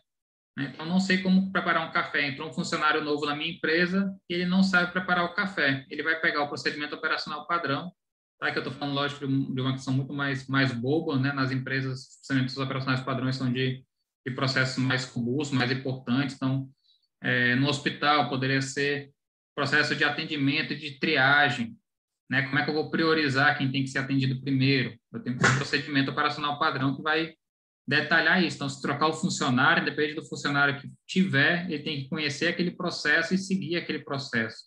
Né? Quando a gente vai ao hospital, normalmente tem lá, né? É, principalmente o hospital privado, né? Lógico. São, normalmente são mais estruturados no nível de, de processo. Tem lá, por exemplo, a, as fitinhas de coloração, né? Então, se está verde, ele tem que ser um, é um problema né, básico, ele tem aí até uma hora para ser atendido. Se ele está meio baqueado, é laranja, ele tem que ser atendido em 45 minutos. Se ele está numa emergência, é, amarelo, ele tem que ser atendido em até 30 minutos. Se está no vermelho, ele tem que ser atendido em 5, 10 minutos. Então, eu crio o um processo de triagem, né, de priorização, para conseguir atender os prioritários de maneira é, mais rápida. Tá? Então, aqui, por exemplo, no preparo de café, né, o mais bobinho, ele vai falar o quê? Quais são os materiais necessários? Eu preciso ter esses materiais aqui para fazer. Né? Então, quais são as peças para fazer o processo padrão na minha empresa? Né? Quais são os passos críticos? Aqui é uma das estruturas, tá, senhores? Então, não necessariamente tem um padrão, como isso para vocês, na internet vai ter vários, conforme o, o processo que vocês estiverem buscando. Como eu tenho que manusear esse material? Qual que é o resultado esperado? Né? Quais são as ações corretivas que eu tenho que fazer? Então, veja que é um processo né, para eu fazer o preparo de café. Então, o que eu tenho que fazer? Verificar quantas pessoas vão tomar o café, colocar água para ferver na chaleira, colocar pó de café no filtro, então é um medidor de café por pessoa, então se tem 10 pessoas querendo tomar café, eu tenho que colocar 10 medidores de café. Então, é, qualquer leigo que pegue isso daqui consegue ter uma visão geral do passo a passo de como preparar um café. Né? Como que eu tenho que instalar equipamentos novos na minha organização? Então, vou ter aqui um processo de como fazer a instalação. Como eu vou fazer uma triagem no hospital? Tem um processo de como fazer a triagem no hospital. Como eu vou é, produzir uma motocicleta numa fábrica ou uma televisão numa fábrica? Eu vou ter aí nesse caso, dezenas, centenas de processos padrões ali para cada etapa do processo. Né? Então, nas indústrias, para cada etapa dessa, é, eu tenho um processo operacional padrão, uma padronização daquele procedimento. Eu vou passar, senhores? Deixa eu ver como é que está meu horário. Ainda estamos é, tranquilo, vou focar aqui nesse um pouquinho no FEMEA. Já ouviram falar? Modo de falha, análise de efeito, FEMEA. Esse também é Já muito... ouvi falar, sim. Esse é muito utilizado para processo na, nas indústrias e tem tudo a ver com qualidade e com riscos que a gente falou é, até então. Vou até pegar um outro um Excel que eu deixei aberto aqui. Né? Então, tem vários modelos, senhores. Olha, aqui, por exemplo, eu tinha aqui um, um documentozinho que, tem aqui minha espinha de peixe, se aquela estava feia, imagina essa, né? Então, eu deixei no Excel aqui, ó, eu colocava os que são controláveis e os que não são controláveis, né? Depois daqueles controláveis, eu jogo no meu FEMEA para fazer meu plano de ação. Tá? Então, tem aqui o modelo 2, o modelo 1, um, posso ter modelos diferentes do modelo 3, né? Independente do modelo aqui, a ideia é eu ter uma ficha, né? Única, normalmente isso aqui é, pode ser manual, ou mesmo no, no, no computador faz com que eu consiga preencher mais dados com letras menores, né, mais inteligíveis. E basicamente, senhores, eu vou analisar os meus riscos aqui nesse caso e vou elaborar um plano de resposta para eles. Então, esse aqui seria um FEMEA mais voltado para gerenciamento de riscos. Então, na nossa festa de aniversário, a gente tinha um risco de chuva. Né? Eu vou analisar a probabilidade de acontecer. Né? Então, a probabilidade é 2, é baixa. O impacto é razoável, é 5. E aí eu tenho um nível de criticidade de 10, que seria a multiplicação. Com isso, senhores, depois que eu tenho tudo, vários aqui feitos,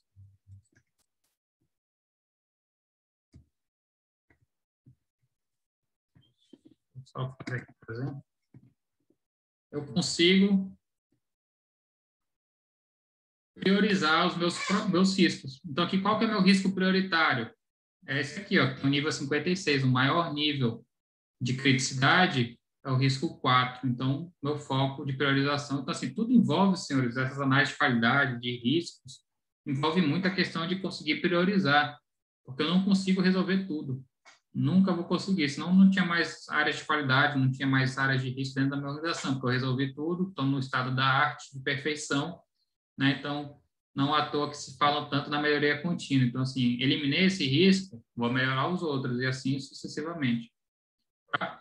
Então, aqui basicamente eu vou ter quem identificou aquele problema, então, aqui foi o pai do aniversariante, por exemplo, né, a data que ele analisou, lógico que tem mais para processo, né, então ah, ele analisou esse dia 30 de 1 de 2021. E qual vai ser a ação, a estratégia? Eu vou mitigar, eu vou evitar, é, eu vou transferir, né, então eu vou utilizar aquelas estratégias de riscos, então nesse caso aqui eu vou estar mitigando, então mitigar. Qual vai ser a ação? Né, alugar local coberto, ou alugar uma tenda, alugar uma tenda, coisas do tipo, né?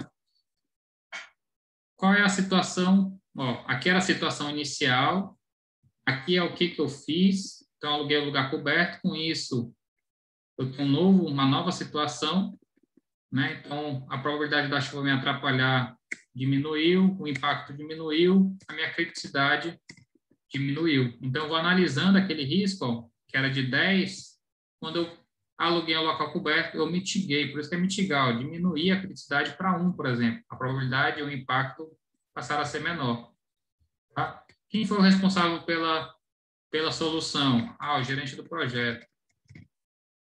Quando que ele fez isso? Na data tal. Qual é o status? Concluída, pendente? Né? Tem alguma ação de contingência que eu preciso fazer ainda? Tem algum impacto financeiro? Então, lembra aquela estrutura que a gente fez em vários documentos separados de análise de risco? Tá? Nada mais é do que plotar isso aqui nesse único documento. Então, eu identifiquei os riscos, eu fiz análise de riscos e eu elaborei um plano de ação para o risco. E disso pode me sair uma ação de contingência tá? com impacto financeiro ou não. Então, nada mais é do que o que eu fiz. Eu destrinchei isso daqui naqueles vários documentos que vocês fizeram na parte de riscos. Tá? Deu para entender? Sim, professor.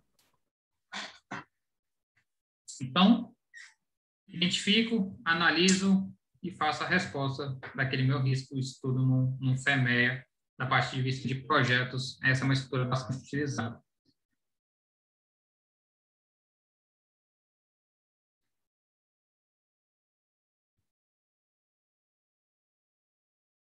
Né, então aqui eu tenho os controles. Essa aqui, esse, esse modelo, ele já é mais focado realmente para processos. Para quem trabalha em fábrica, ele é mais, esse que eu mostrei para vocês é mais para a parte de projetos. Tá? Esse é um modelo que é mais utilizado para é, realmente análise de processo. O pessoal da, empresa utiliza bastante. Né? Então, eu marco aqui se é para processo, ou seja, de projetos com a letra errada aí, mas era para ficar marcado, né? E aí aqui eu vou colocando vários itens, vários componentes do meu projeto que são é, analisados, e aí aqui eu vou fazer a parte mais técnica, né? Quais são os modos, os efeitos, as causas, se eu tenho controles atuais, né, para verificar aquelas falhas. Então, por exemplo, como que eu percebo que o equipamento é, travou, que ele parou de funcionar? Tem um, um equipamento de fazer a embalagem lá de um produto, ele para de funcionar. Como que é feito esse controle atual? Ele é automático? É uma pessoa que tem que gritar lá? Né? Então, eu analiso como que está essa situação atual.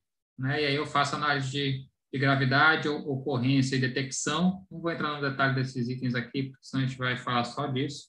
Tá? Mas, é, de novo, é um, é um overview aqui para vocês entenderem. Então, lá em riscos, eu trabalhei com duas variáveis, probabilidade e impacto. Aqui eu tenho três variáveis. Gravidade, probabilidade de ocorrência e nível de detecção. Então, aqui eu tenho um... um não estou detalhando para vocês, porque eu tenho já um, uma legenda aqui que é, que é fácil de eu, de eu entender. Então, eu vou avaliar se aquele controle é, por exemplo, aquele controle manual lá, que o operário grita, que a máquina, o operário que grita, né? A máquina travou. Imagina isso, né?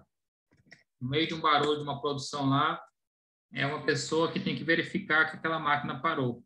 Então, qual é a gravidade desse problema que eu estou analisando? É alto, é baixo? Qual é a probabilidade dele ocorrer? E o nível de detecção dele? Então, se é manual, o nível de detecção normalmente é ruim, é pequeno, então são números maiores. Tá? Com isso, eu analiso também os itens, né? Os maiores é, números aqui me geram maiores riscos e eu tenho que priorizar esses processos. E aí eu, eu traço também um plano de ação, qual é a tomada e, a, e analiso.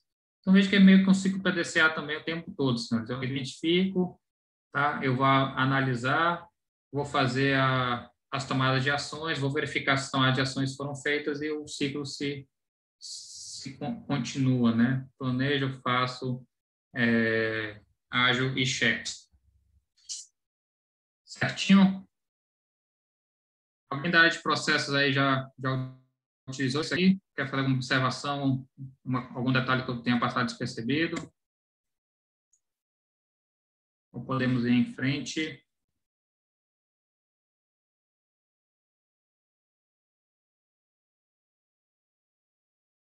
É, acho que podemos ir em frente, então.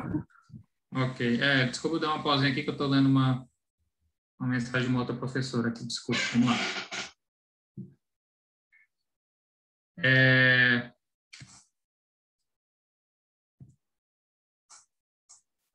Fluxo do processo, né? É o fluxograma aqui de uma outra maneira, né? Eu posso usar o BPM, posso usar é, as raias do, do, do posso utilizar algumas algum né, emotions, enfim, aqui a, a, ideia é ser, ser visual, né? Colega tinha falado aí, por exemplo, dos gargalos, né? Isso aqui são os pontos de, de gargalos, de estrangulamento do meu processo. Então, eu tenho que conseguir atuar para diminuir esses gargalos.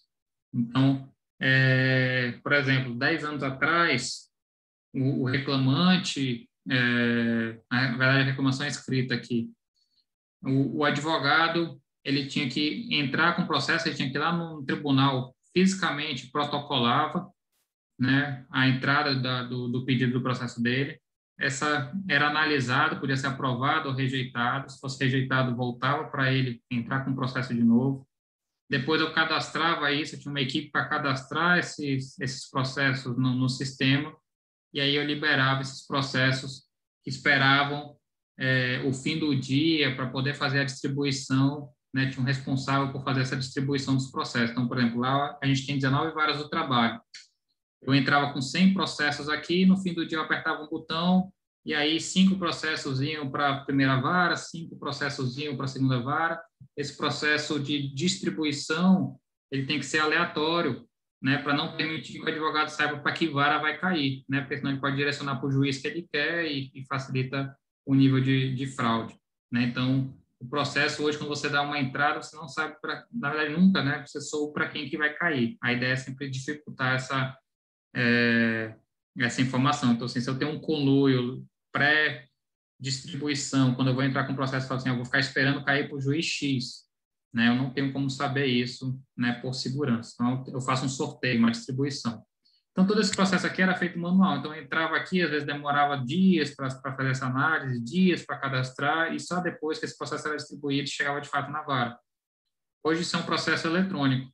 Então, o advogado da casa dele, do, do né, de onde ele tiver internet, se ele tiver de férias, qualquer lugar do mundo, ele entra no sistema, se autentica, sobe lá o PDF dele, né? Isso já é validado automaticamente, né? Ele mesmo já foi o digitador, então passei esse trabalho aqui para o próprio advogado, então o advogado que tem que colocar as informações lá, e esse processo na mesma hora já é distribuído já cai direto para a pessoa que vai julgar.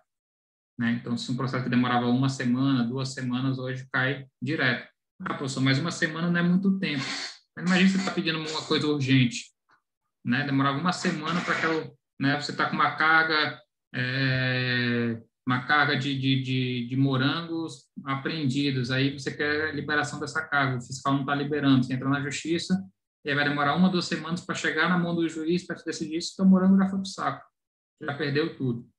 Né? Ou que você foi preso, você ficou umas duas semanas para chegar para ser liberado. Né? Então, a, perspectiva muda completamente.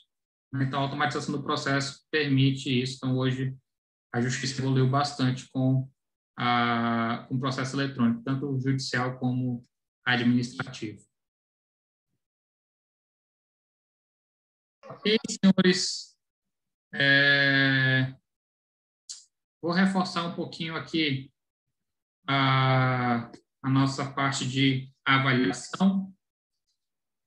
De novo, somos, vamos ter quatro exercícios para entregar. Tá? Eles vão valer cinco pontos na média somada, esses quatro exercícios.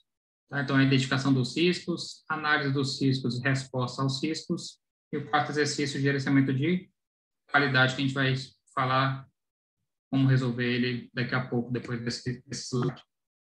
Além disso, eu tenho uma prova final, valendo cinco pontos na média, tá? Soma essa nota, eu tenho a minha média de aprovação ou não.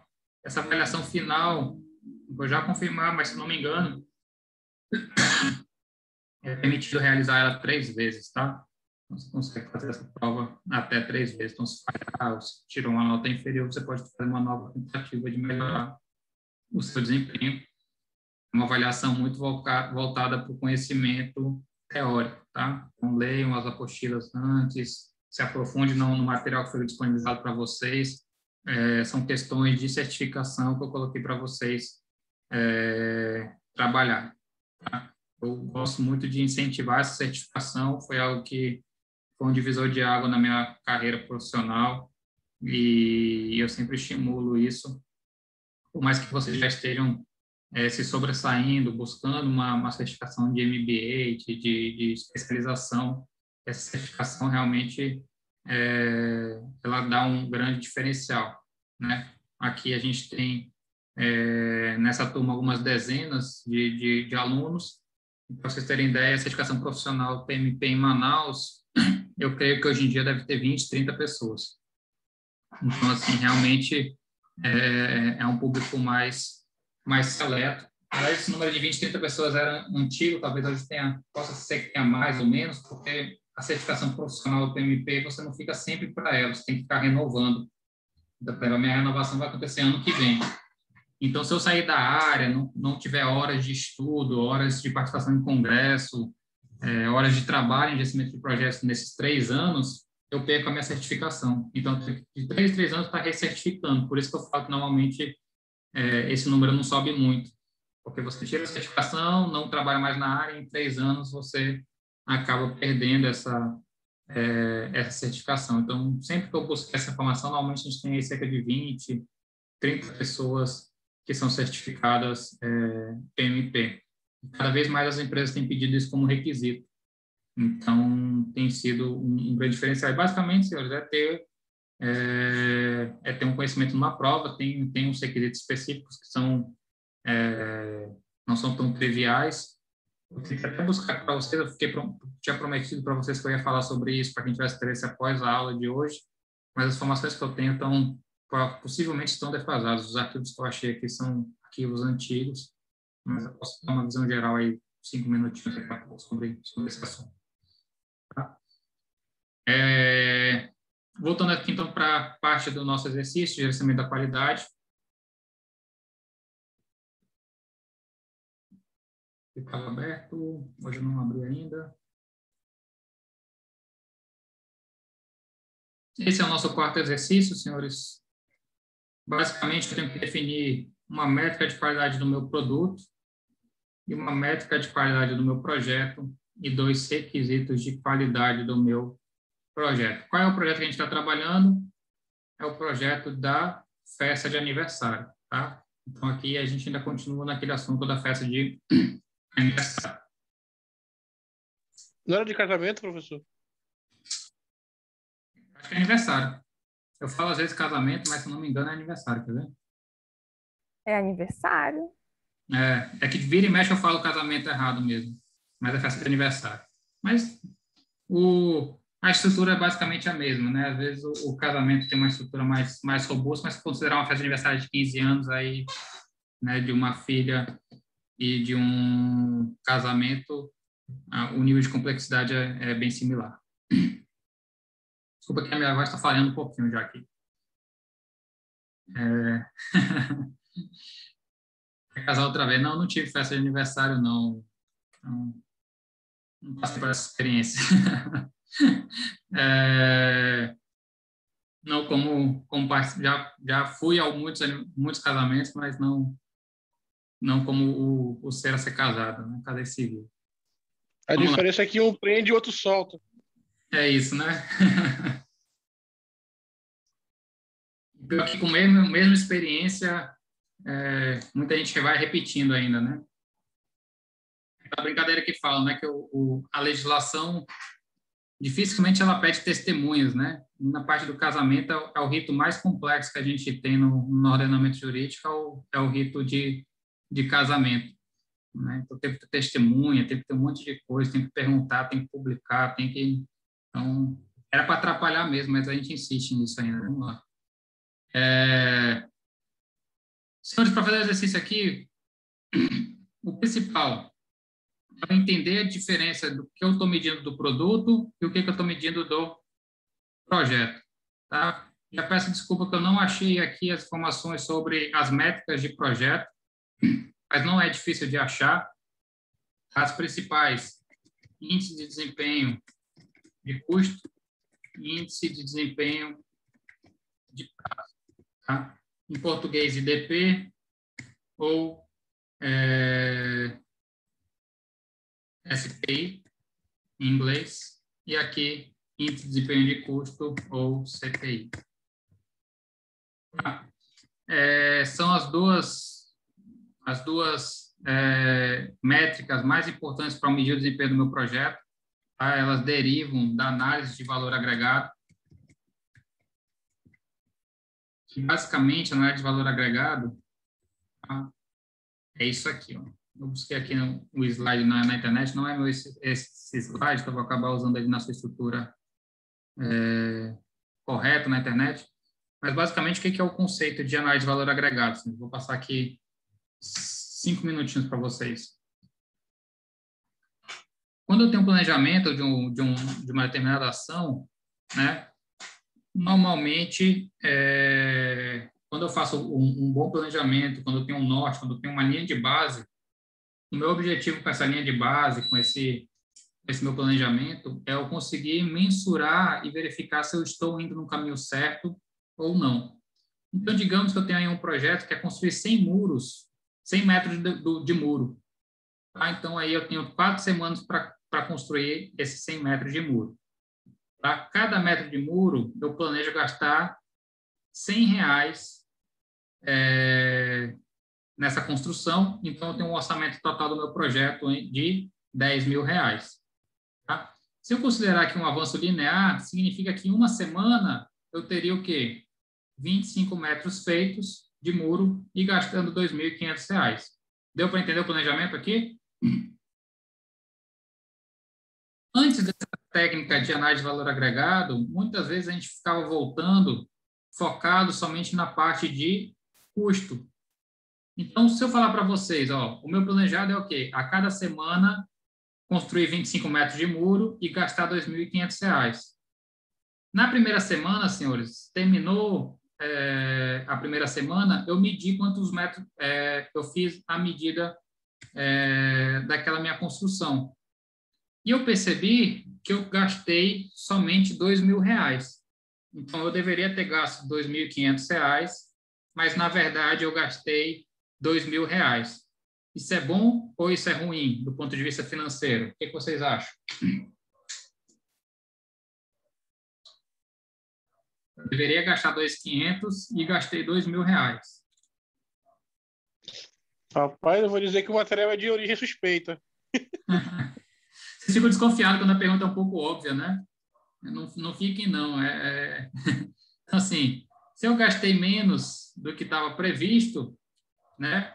Do ponto de vista financeiro, foi bom, né?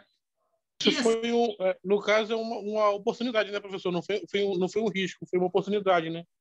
É, eu consegui, de alguma forma, é, economizar, né? Só que do ponto de vista, é, o que, que acontecia com o gerenciamento de projetos? Muitas vezes a gente vê essa informação, né? Ou seja, deveria gastar 2.500 e gastei 2.000 reais, e olhava só do ponto de vista financeiro e achava isso excelente, né? Mas como o Carlos já levantou aí, será que eu usei o produto de qualidade, tendo as especificações, né? Será que eu estou dentro do prazo? Ou seja, será que eu realmente fiz os 25 metros de muro que eu fiz? Então, eu deveria ter feito 25 metros, mas eu fiz 15 metros com 2 mil reais. Continua sendo bom esse, ter economizado esses 500 reais aí? Não, porque o meu prazo está sendo estourado, eu não estou atendendo o meu prazo.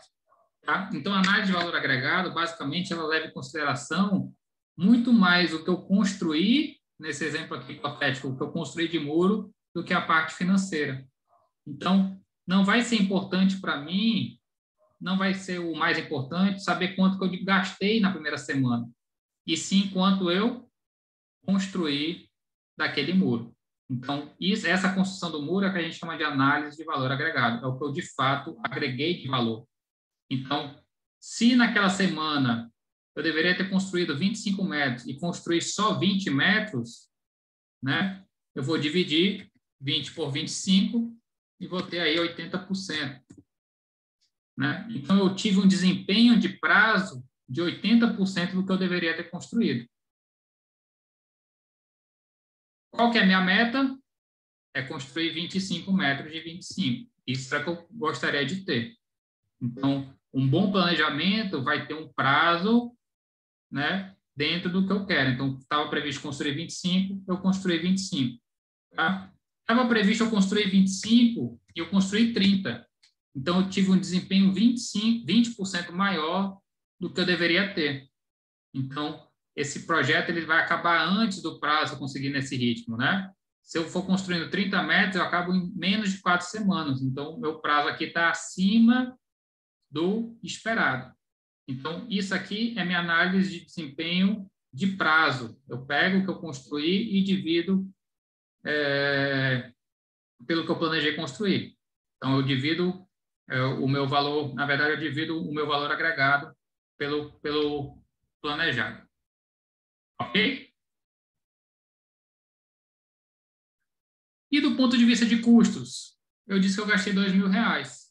Deveria ter gasto dois e quinhentos. Então, eu estou economizando 20% aqui. Né? Já se eu gastei mais do que eu planejei, eu estou acima do meu orçamento, vou gastar mais do que deveria, e com isso eu vou estourar meu orçamento de 10 mil reais aqui. Então, isso aqui é o índice de desempenho de custo. Tá? Então, essas são as duas variáveis que a gente utiliza. Então, basicamente, o conceito, tá? tem mais coisa aqui nesse, nesse slide, mas basicamente esse conceito é, é buscar quanto de fato eu agreguei de valor para o meu projeto, quando de fato eu construí, qual, quantos por cento de fato do meu projeto está pronto e não olhar só, do ponto de vista financeiro, tá? Eu olho realmente do ponto de vista do meu escopo. Essa que é a, a diferença de conceito. E aí, se está muito fora do que eu planejei, tanto para mais como para menos, isso é ruim. Então, eu ter construído 50 metros de muro é, em uma semana mesmo que eu tenha gastado os 2.500 planejados, significa aí que eu superestimei a, a, minha demanda, eu planejei errado. Então, é isso que a gente não quer. A gente quer estar dentro do planejado, não acima e nem abaixo. Foi aquela conversa que a gente teve ontem. Professor, esse material vai estar na plataforma também? Esse aqui, não, porque ele não, não, não tem a ver. Eu posso até colocar. Deixa eu. O senhor pode mandar pelo menos lá no grupo, professor, da, da faculdade? Ah, já agregado? Eu vou ver se esse é um. Deixa eu passar aqui como, se ele explica bem mesmo isso. Deixa eu dar uma olhada aqui rápido. Aqui vai acabar entrando em. Tinha que ser mais simplificado que isso aqui, talvez, mas eu mando. Tá? Dá para ter uma. Aqui é, é, é, a análise de valor agregado maior. É, mas o conceito que a gente quer se buscar só os indicadores, mas eu vou buscar e, e mando para vocês. Tá? Não, não garanto hoje eu acabo saindo aqui correndo, mas é, para amanhã eu mando isso para vocês, tá? Amanhã tem aula, professor? Como? Amanhã tem aula? Se vocês quiserem, eu faço. mas a previsão não, tá? Amanhã é, é o prazo para a gente é, usar esse dia. Ele é considerado dia de aula porque é o, o, o ideal que vocês façam as atividades amanhã, tá? Então a gente fica disponível. Não, Entendi, entendi. que você falou amanhã, porque eu acabo me planejando no trabalho por conta. Não, não tem, não. Não, a aula mesmo é hoje, hoje é a última, tá? Amanhã fica disponível para fazer os exercícios, que no caso está disponível até o dia 9. Ok, senhores? Então, grande, o grande problema aqui é eu definir por que, que eu estou, qual é o meu objetivo de medir, né, de eu ter aquela métrica de qualidade, essa unidade aqui é, é, o setor, então tem um exemplo aqui, né? Então é de onde eu vou mensurar aquilo, ou aquela informação. No nosso projeto de, de festa de aniversário, às vezes, muitas vezes a gente nem usa isso, então assim, não precisa preencher tudo. Se não, não entendeu aquele conceito, pode deixar em branco, não tem problema. É, quer dizer, se não for tudo em branco, né? O que é, que é, que é imprescindível a gente tem que manter. Essa unidade aqui ele, o que, que acontece? Dentro da organização, tem vários setores, vários, né, eu tenho um setor de qualidade, eu tenho um setor de produção, eu tenho um setor de manutenção, eu tenho um setor de, é, de financeiro. Então, a unidade aqui, basicamente, é isso. Não é mais usado quando eu vou fazer uma métrica de produto dentro de uma organização. Como a nossa é uma festa de aniversário, não tem unidades, né, não tem os setores. Então, por isso que isso acaba, acaba ficando em branco. Mas os demais aqui a gente preenche. É, qual é a minha meta? Né? Então, o objetivo de qualidade do meu produto tem, a, tem que ter a ver com a minha festa de aniversário, tá? com o resultado da minha festa de aniversário ou alguma parte da minha festa de aniversário. Tá? Então, meu objetivo aqui, por exemplo, é... o que, que poderia ter aqui? Poderia ser uma festa de, de aniversário, é, garantir bebidas e comidas para cerca de 100 convidados, por exemplo. Poderia assim, ser garantir o bem-estar e a diversão dos convidados, né, professor? É, pode ser também. É que bem-estar eu não consigo mensurar muito, né? Então, assim, eu tenho que fazer uma pesquisa de satisfação, até pode ter, mas enfim, eu quis ter uma coisa mais objetiva aqui. Então, assim, eu tenho que conseguir que ao final da festa não tenha faltado bebida e comida. Então, isso eu consigo mensurar de maneira melhor. Tá? Então, qual é a minha meta? Né? É, ao final da festa, ter, por exemplo, aqui eu vou acabar levando mais tempo, eu estou acabando pensando mais para ser um pouco mais rápido, a gente tem cinco minutinhos para terminar a nossa aula. É, talvez não vai não vai dar. Mas ao final da festa ter é, ter sobrado 30 latas de cerveja, ou seja, eu quero ter sobra aqui, ter sobrado 100 sal, é, 10 quilos de comida. Então, na verdade, aqui eu deveria ter buscado é, coisas melhores. Aqui eu estou buscando, tentando ser mais rápido e não está ficando legal. Mas, basicamente, eu vou, vou falar sobre os conceitos aqui para vocês. A meta é, o, é a mensuração do, de quanto que eu tenho que alcançar. Tá? Aqui no meu projeto, por exemplo, eu tenho a meta de manter o índice com valor igual ou superior a 90%. Tá? Que índice é esse? Calculado pela minha fórmula. Atividades realizadas dividido pelas minhas atividades planejadas. Então, eu vou imaginar, por exemplo, o meu processo de construção de muro lá. Eu tinha 25 metros para planejados, eu fiz 20. Então, eu tive 80% de desempenho nesse indicador. Tá? 80 é menor ou superior a 90. Então, não cumpri a minha meta. Tá? Mas aqui nesse exercício, eu não vou preocupar com se eu estou cumprindo ou não estou cumprindo, eu só vou definir quais são as métricas, como que eu vou mensurar o meu projeto. Tá? Então, é o planejamento de como eu vou realizar isso lá na frente. Então, quando entrar na execução, no meu controle de qualidade, que essas mensurações de fato vão ser feitas. Então, a meta é o meu é o que eu quero atingir, a minha fórmula é como eu calculo aquele meu indicador, a minha fonte é o local de informação, minha fonte de informação, de onde eu vou estar tirando aquela informação, quem é responsável por medir, qual que é a periodicidade, de quanto quanto tempo eu tenho que fazer aquela mensuração, ela é diária, ela é semanal, ela é mensal, ela é quinzenal, ela é bimestral, ela é anual, de quanto quanto tempo eu tenho que medir aquilo, e o que, que tem que acontecer se eu não atingir a meta? Qual é a minha comunicação e minha ação corretiva? Ah, eu tenho que informar o diretor né, que eu saí do meu prazo e tenho que apresentar as soluções para voltar para o meu prazo que eu tinha acordado. Então, isso aqui é o exemplo que eu vou replicar para minha festa de aniversário aqui relacionados ao projeto, tá? Então, um indicador do meu produto, ou seja, algo que eu vou medir em relação à garantia da minha festa, pode ser uma pesquisa de satisfação, era um exemplo melhor de eu ter colocado aqui, por sinal, né? Então, o objetivo é garantir a satisfação dos meus convidados. A meta, 80% dos convidados declararem estar satisfeitos ou muito satisfeitos com a festa. Qual é uma, a fórmula? Né? Total de convidados que declararam estar satisfeitos. Estou errado aqui. Com muito satisfeitos. Dividido pelo total de entrevistados. Então, isso é a minha fórmula. Né? Se eu entrevistei 100 pessoas, eu tenho que conseguir que 80 ou mais sejam, estejam satisfeitos ou muito satisfeitos por eu estar dentro dessa meta. Qual que é a fonte? Né? É uma pesquisa de satisfação realizada após o evento. Quem é responsável? A cerimonialista tem que fazer essa pesquisa. Qual é a periodicidade? Ela é única, né? Única, feita três dias após o evento, por exemplo, ou imediatamente após o evento.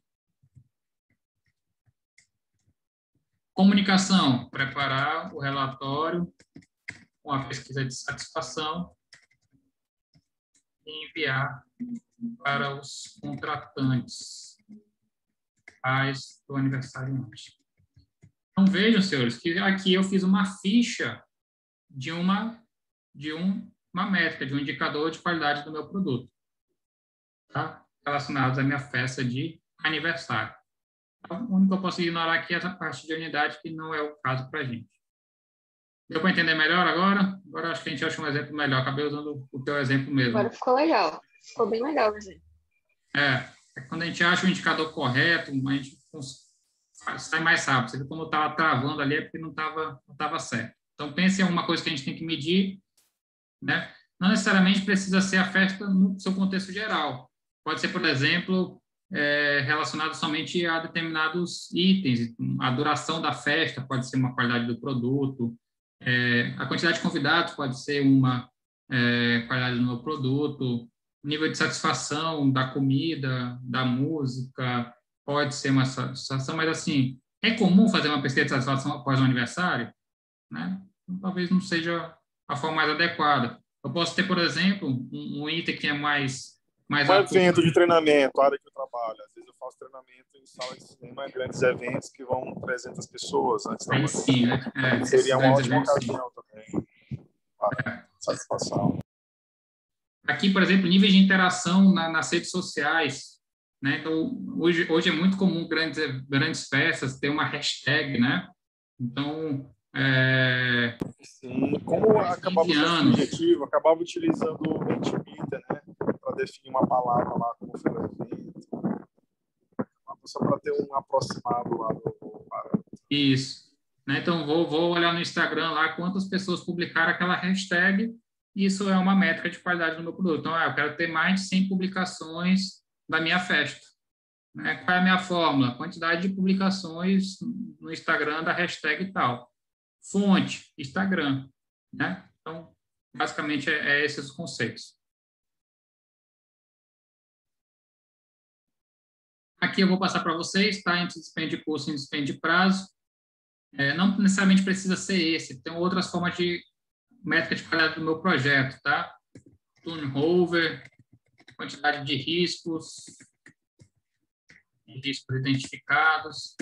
É, então, aqui a parte de equipe. É, é faltou a palavra aqui também com relação à quantidade de faltas da, da minha equipe. Como é que chama? É, obsolescência, não. Vocês também estão entrando muito em, em, em atestado médico, faltando demais, eu tenho um, um, um nível para medir isso também, não faltou a palavra agora. É, quantidade de estudos identificados. É... é abstinência, professor. Hã? Abstinência? Será que é abstinência? Não, abstinência não. É... Bom, me faltou aqui a Absenteísmo? palavra. Absenteísmo, é essa aí. Desculpa, obrigado. É, né, também estava... é isso aí, absenteísmo, tá? Então, essa é uma característica também do... Eu estava com O na cabeça. É... O que mais? É... Prazo de aquisição, tempo médio de aquisição. Então, tudo isso né, ou de contratação, no caso, tempo médio de pagamento, tudo isso são questões que vão medir a qualidade do meu projeto, tá? Então, custos, prazos, aquisição, comunicação, é, equipe, riscos, qualidade, todos esses são, são itens que a gente pode estar tá, tá avaliando, tá? Os mais comuns, os dois que são meio que obrigatórios, em desempenho de custo e desempenho de prazo, análise de valor agregado. Tá? E, por fim, sei que eu estou passando um pouquinho do prazo já, é, os dois requisitos da qualidade. A gente fez um aqui já na aula de ontem. Então, eu vou olhar lá aquela minha EAP e vou buscar um pacote de trabalho, que é uma daquelas caixinhas, vou mensurar, vou colocar requisitos quantificados aqui e vou detalhar como que é feita essa entrega, como que eu vou evidenciar que aquela etapa foi concluída, como que eu vou validar com o meu cliente se aquela etapa foi concluída. Então, pode ser uma ata de reunião, uma cópia de contrato, um relatório fotográfico, é, um e-mail, enfim, tem várias formas de evidenciar e aí é, isso é usado para nível de conformidade. Então, se eu, falava, se eu falar aqui que eu tenho que ter um contrato assinado do local, né, eu tenho que guardar como gerente de projetos aqui para comprovar quando for fazer os processos de finalização do meu projeto, de que aquilo foi de fato validado, entregue, evidenciado. Tem esse nome de evidência, né?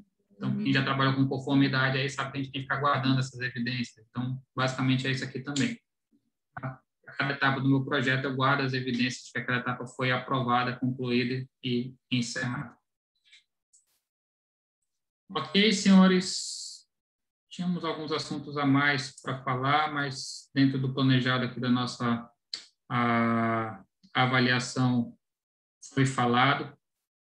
Eu vou estar tá, é, encerrando aqui a aula com vocês e se alguém ficar quiser mais 5, 10 minutinhos aí, eu posso falar sobre o processo de certificação PMP e CAPM, pelo menos dar uma visão geral do que, que é isso, como que é o processo, os, um pouquinho dos custos, os requisitos. Então, quem tiver interesse, eu vou ficar à disposição em uns 5, 10 minutinhos para a gente tirar essas, essas dúvidas. Tá? Mas aí, como é, é extra esse assunto da, da nossa disciplina, não é obrigatório. Tá? É, ficou alguma dúvida, senhores? senhoras? Eu Bom, entender sim, professor. É, ok, o processo de avaliação está claro. Sim, professor, está claro. Né? Só até aqui está tranquilo. Se surgir dúvida mesmo, vai ser durante o desenvolvimento da atividade, vai ser normal. Beleza, é, acontece. Aqui parece estar tá ótimo, está super claro. Não pode botar a mão na massa sozinho. As dúvidas aparecem, né? É. Então, é, tem bastante material, senhores, que esclarece alguns desses conceitos que a gente colocou, que eu coloquei para vocês é, nessa estrutura do curso online. Isso é legal de vocês usarem o tempo de amanhã também para ver. Tá? Então, tem algumas leituras recomendadas, tem alguns vídeos interessantes, podcasts. Esses podcasts eu recomendo fortemente. Eu gosto muito do, do, das explicações do Ricardo Vargas. Tá? Ele é muito, ele consegue trazer muitas a, as informações para o leigo entender. É, né? Então, qualquer pessoa que escuta consegue entender os, os riscos podem ser positivos, por exemplo. Então, qual é a minha tolerância a riscos, é, sobre gestão de qualidade. Então, assim. Ele está no Spotify, professor, esse Ricardo Vargas? Ele, ele tem no próprio site dele e está aqui no material. Ele tem no ah, Spotify. Ah, Mas sim. ultimamente ele não tem se atualizado muito mais, não. Esses conceitos acabaram ficando, são podcasts mais antigos. Ainda nem tinha essas plataformas, na verdade. É, mas está disponível aqui para vocês e no site dele também tem bastante informação sobre gerenciamento de projetos. Você que estava perguntando de, de, referências até, é meu autor brasileiro, sem dúvida, aí, é, preferido. Diversos livros importantes é, de gestão de projetos, né? tem a, os podcasts, aqui está muito... Podcast. Então, aqui tem vários podcasts, normalmente são podcasts de cinco minutos, então assim, são explicações rapidinhas mesmo, bem interessante. Ó, tem mais de 500 episódios aqui de, de, de, de, de podcast. Então, você tem acesso aqui essa estrutura toda sobre gestão de projetos, tem quase tudo aí, ele, ele traz aqui, eu coloquei alguns para vocês na, nesse conteúdo que eu separei para vocês aqui. Tá? Então, lembrando que tem esses assuntos e tem aqui sempre as entregas do exercício, tá? Exercício 1, exercício 2, exercício 3 de riscos, o exercício 4 de qualidade, tá? O exercício 5 aqui, que é aquele do Ishikawa, que eu falei que não é avaliativo, só para quem quiser fazer, tá? Então tem toda essa estrutura. E principalmente, senhores, quem não faz a avaliação final não tem como ser aprovado por média, já que ela vale metade dos pontos, tá? Então fazer a prova final imprescindível para aprovação nesse modo. Todas essas atividades entregues e concluídas até dia 9, improrrogável, tá? não vai ser postergado sob nenhuma hipótese, já que o prazo já está acima do que deveria, o prazo é para ser amanhã.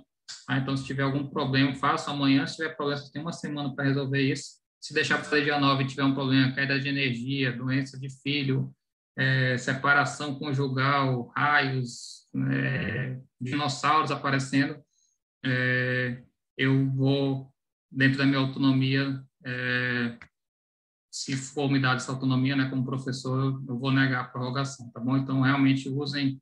É, a Maurício está falando do Spotify, facilita mesmo, mas eu, de qualquer forma você pode fazer os downloads desses arquivos também e aí colocar. Lógico que não é tão simples como você ter isso no, no Spotify, mas você pode fazer download desses podcasts também e escutando. É, tá, então, cumpra o prazo, senhores, como gerente de projetos, a gente tem que levar a sério questões de prazo, né, por isso que eu quero ser rigoroso nisso.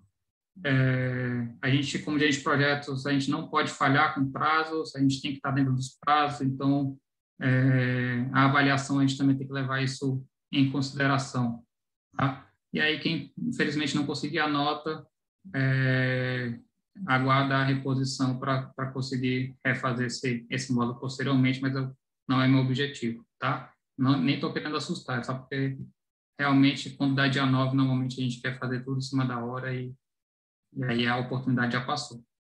É tirar dúvidas e tudo mais, é mais complexo. Então, amanhã é o, o, dia planejado e deveria ser o dia que vocês fazem essas atividades. Tá, tá fresquinho ainda na memória, tá, o professor está mais disponível. É, depois, né, eu entro em outra rotina, vocês entram em outra rotina e essa comunicação fica mais mais complexa. Tá? É, fico devendo, então, para vocês o, essa parte de valor agregado, alguns livros de, de referência mais, mais robustos. É, já recomendo fortemente o site aqui do Ricardo Vargas, tá? Aprendi muito, muitas informações dessas técnicas que foi com ele. É, ele é muito didático, então, é, e os livros dele também são excelentes, tá? A gente tem livros de gestão de projetos, gestão de projetos. É, esse cara já foi presidente do PMA Internacional lá nos Estados Unidos, então, assim, realmente tem uma, uma bagagem. Ele tem um livro só de análise de valor agregado. Eu emprestei para alguém, eu acho que eu já nem tenho mais. Mas esses outros aqui eu tenho. Eu tenho esse, tenho esse, tenho esse. Então, são livros bem, bem interessantes, robustos. Tá? Infelizmente, nem sempre baratos, mas que dão... Quiserem pesquisar em projetos Novas Fronteiras, tá? quase todos os padrões de, de, de documentos de gestão de projetos levam como base é, esse documento. Projetos Novas Fronteiras. Ricardo Vaz.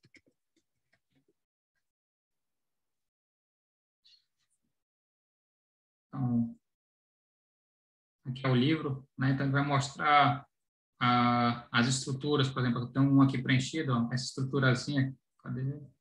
Essa estruturazinha aqui, ó, é um plano de gerenciamento da qualidade, né? Que eu elaborei lá na, na época da minha monografia. Então, o que é um plano de gerenciamento da qualidade? Eu tenho a descrição dos meus processos, eu tenho as minhas premissas, eu tenho os requisitos de qualidade, né, que eram normas, né, coloquei as normas, aqueles itens que eu mostrei para vocês, ó, as métricas de qualidade do meu projeto, as métricas de qualidade do meu é, produto. Então, isso é um plano de gerenciamento da qualidade. Quatro páginas aqui, que me dá um roteiro é, de como eu gerencio a qualidade dentro do meu projeto. Isso aqui também eu vou mandar para vocês, tá? Antes de para vocês analisar. Mas nesse projeto Novas Fronteiras do Ricardo Vargas também tem. Ok, senhores, foi um prazer estar aqui com vocês nessas duas semanas. Espero que eu tenha contribuído e criado é, né, novas perspectivas para vocês, novas áreas de conhecimento, novas. Né, o, não, não, o objetivo não é encerrar ensinar tudo, até porque nem eu sei tudo também mas é realmente a gente vê que tem novas oportunidades, novos caminhos a gente seguir. Então, se a gente se apaixona por uma dessas áreas aí, se dedicar e se especializar, é, tenho certeza que vai abrir portas para vocês também. Tá? Isso e qualidades usamos na nossa vida, usamos no nosso trabalho, e, e, e, entender isso de maneira técnica, de maneira conceitual, vai ajudar a gente a, a minimizar os riscos que a gente toma na nossa vida, a maximizar as qualidades, meus requisitos de qualidade que a gente toma na nossa vida também. Então, isso serve para o profissional e para o pessoal também. Tá bom, senhores? Estou à disposição. Okay. Boa noite. Boa e noite. Até uma professor. próxima oportunidade aí. Foi um prazer. Até a próxima. Obrigada. Obrigada, Tchau, professor. Gente. Até a próxima. Valeu. Prazer, professor. Boa noite. Valeu, obrigado. Boa noite. Lembrando, se a gente Boa noite. Vou continuar aqui, tá? Vou parar agora a, a gravação, mas se alguém tiver interesse e quiser saber sobre certificação, ainda vou ficar aqui. Valeu, professor. Muito obrigado. Boa semana, bom feriado. Valeu, igualmente.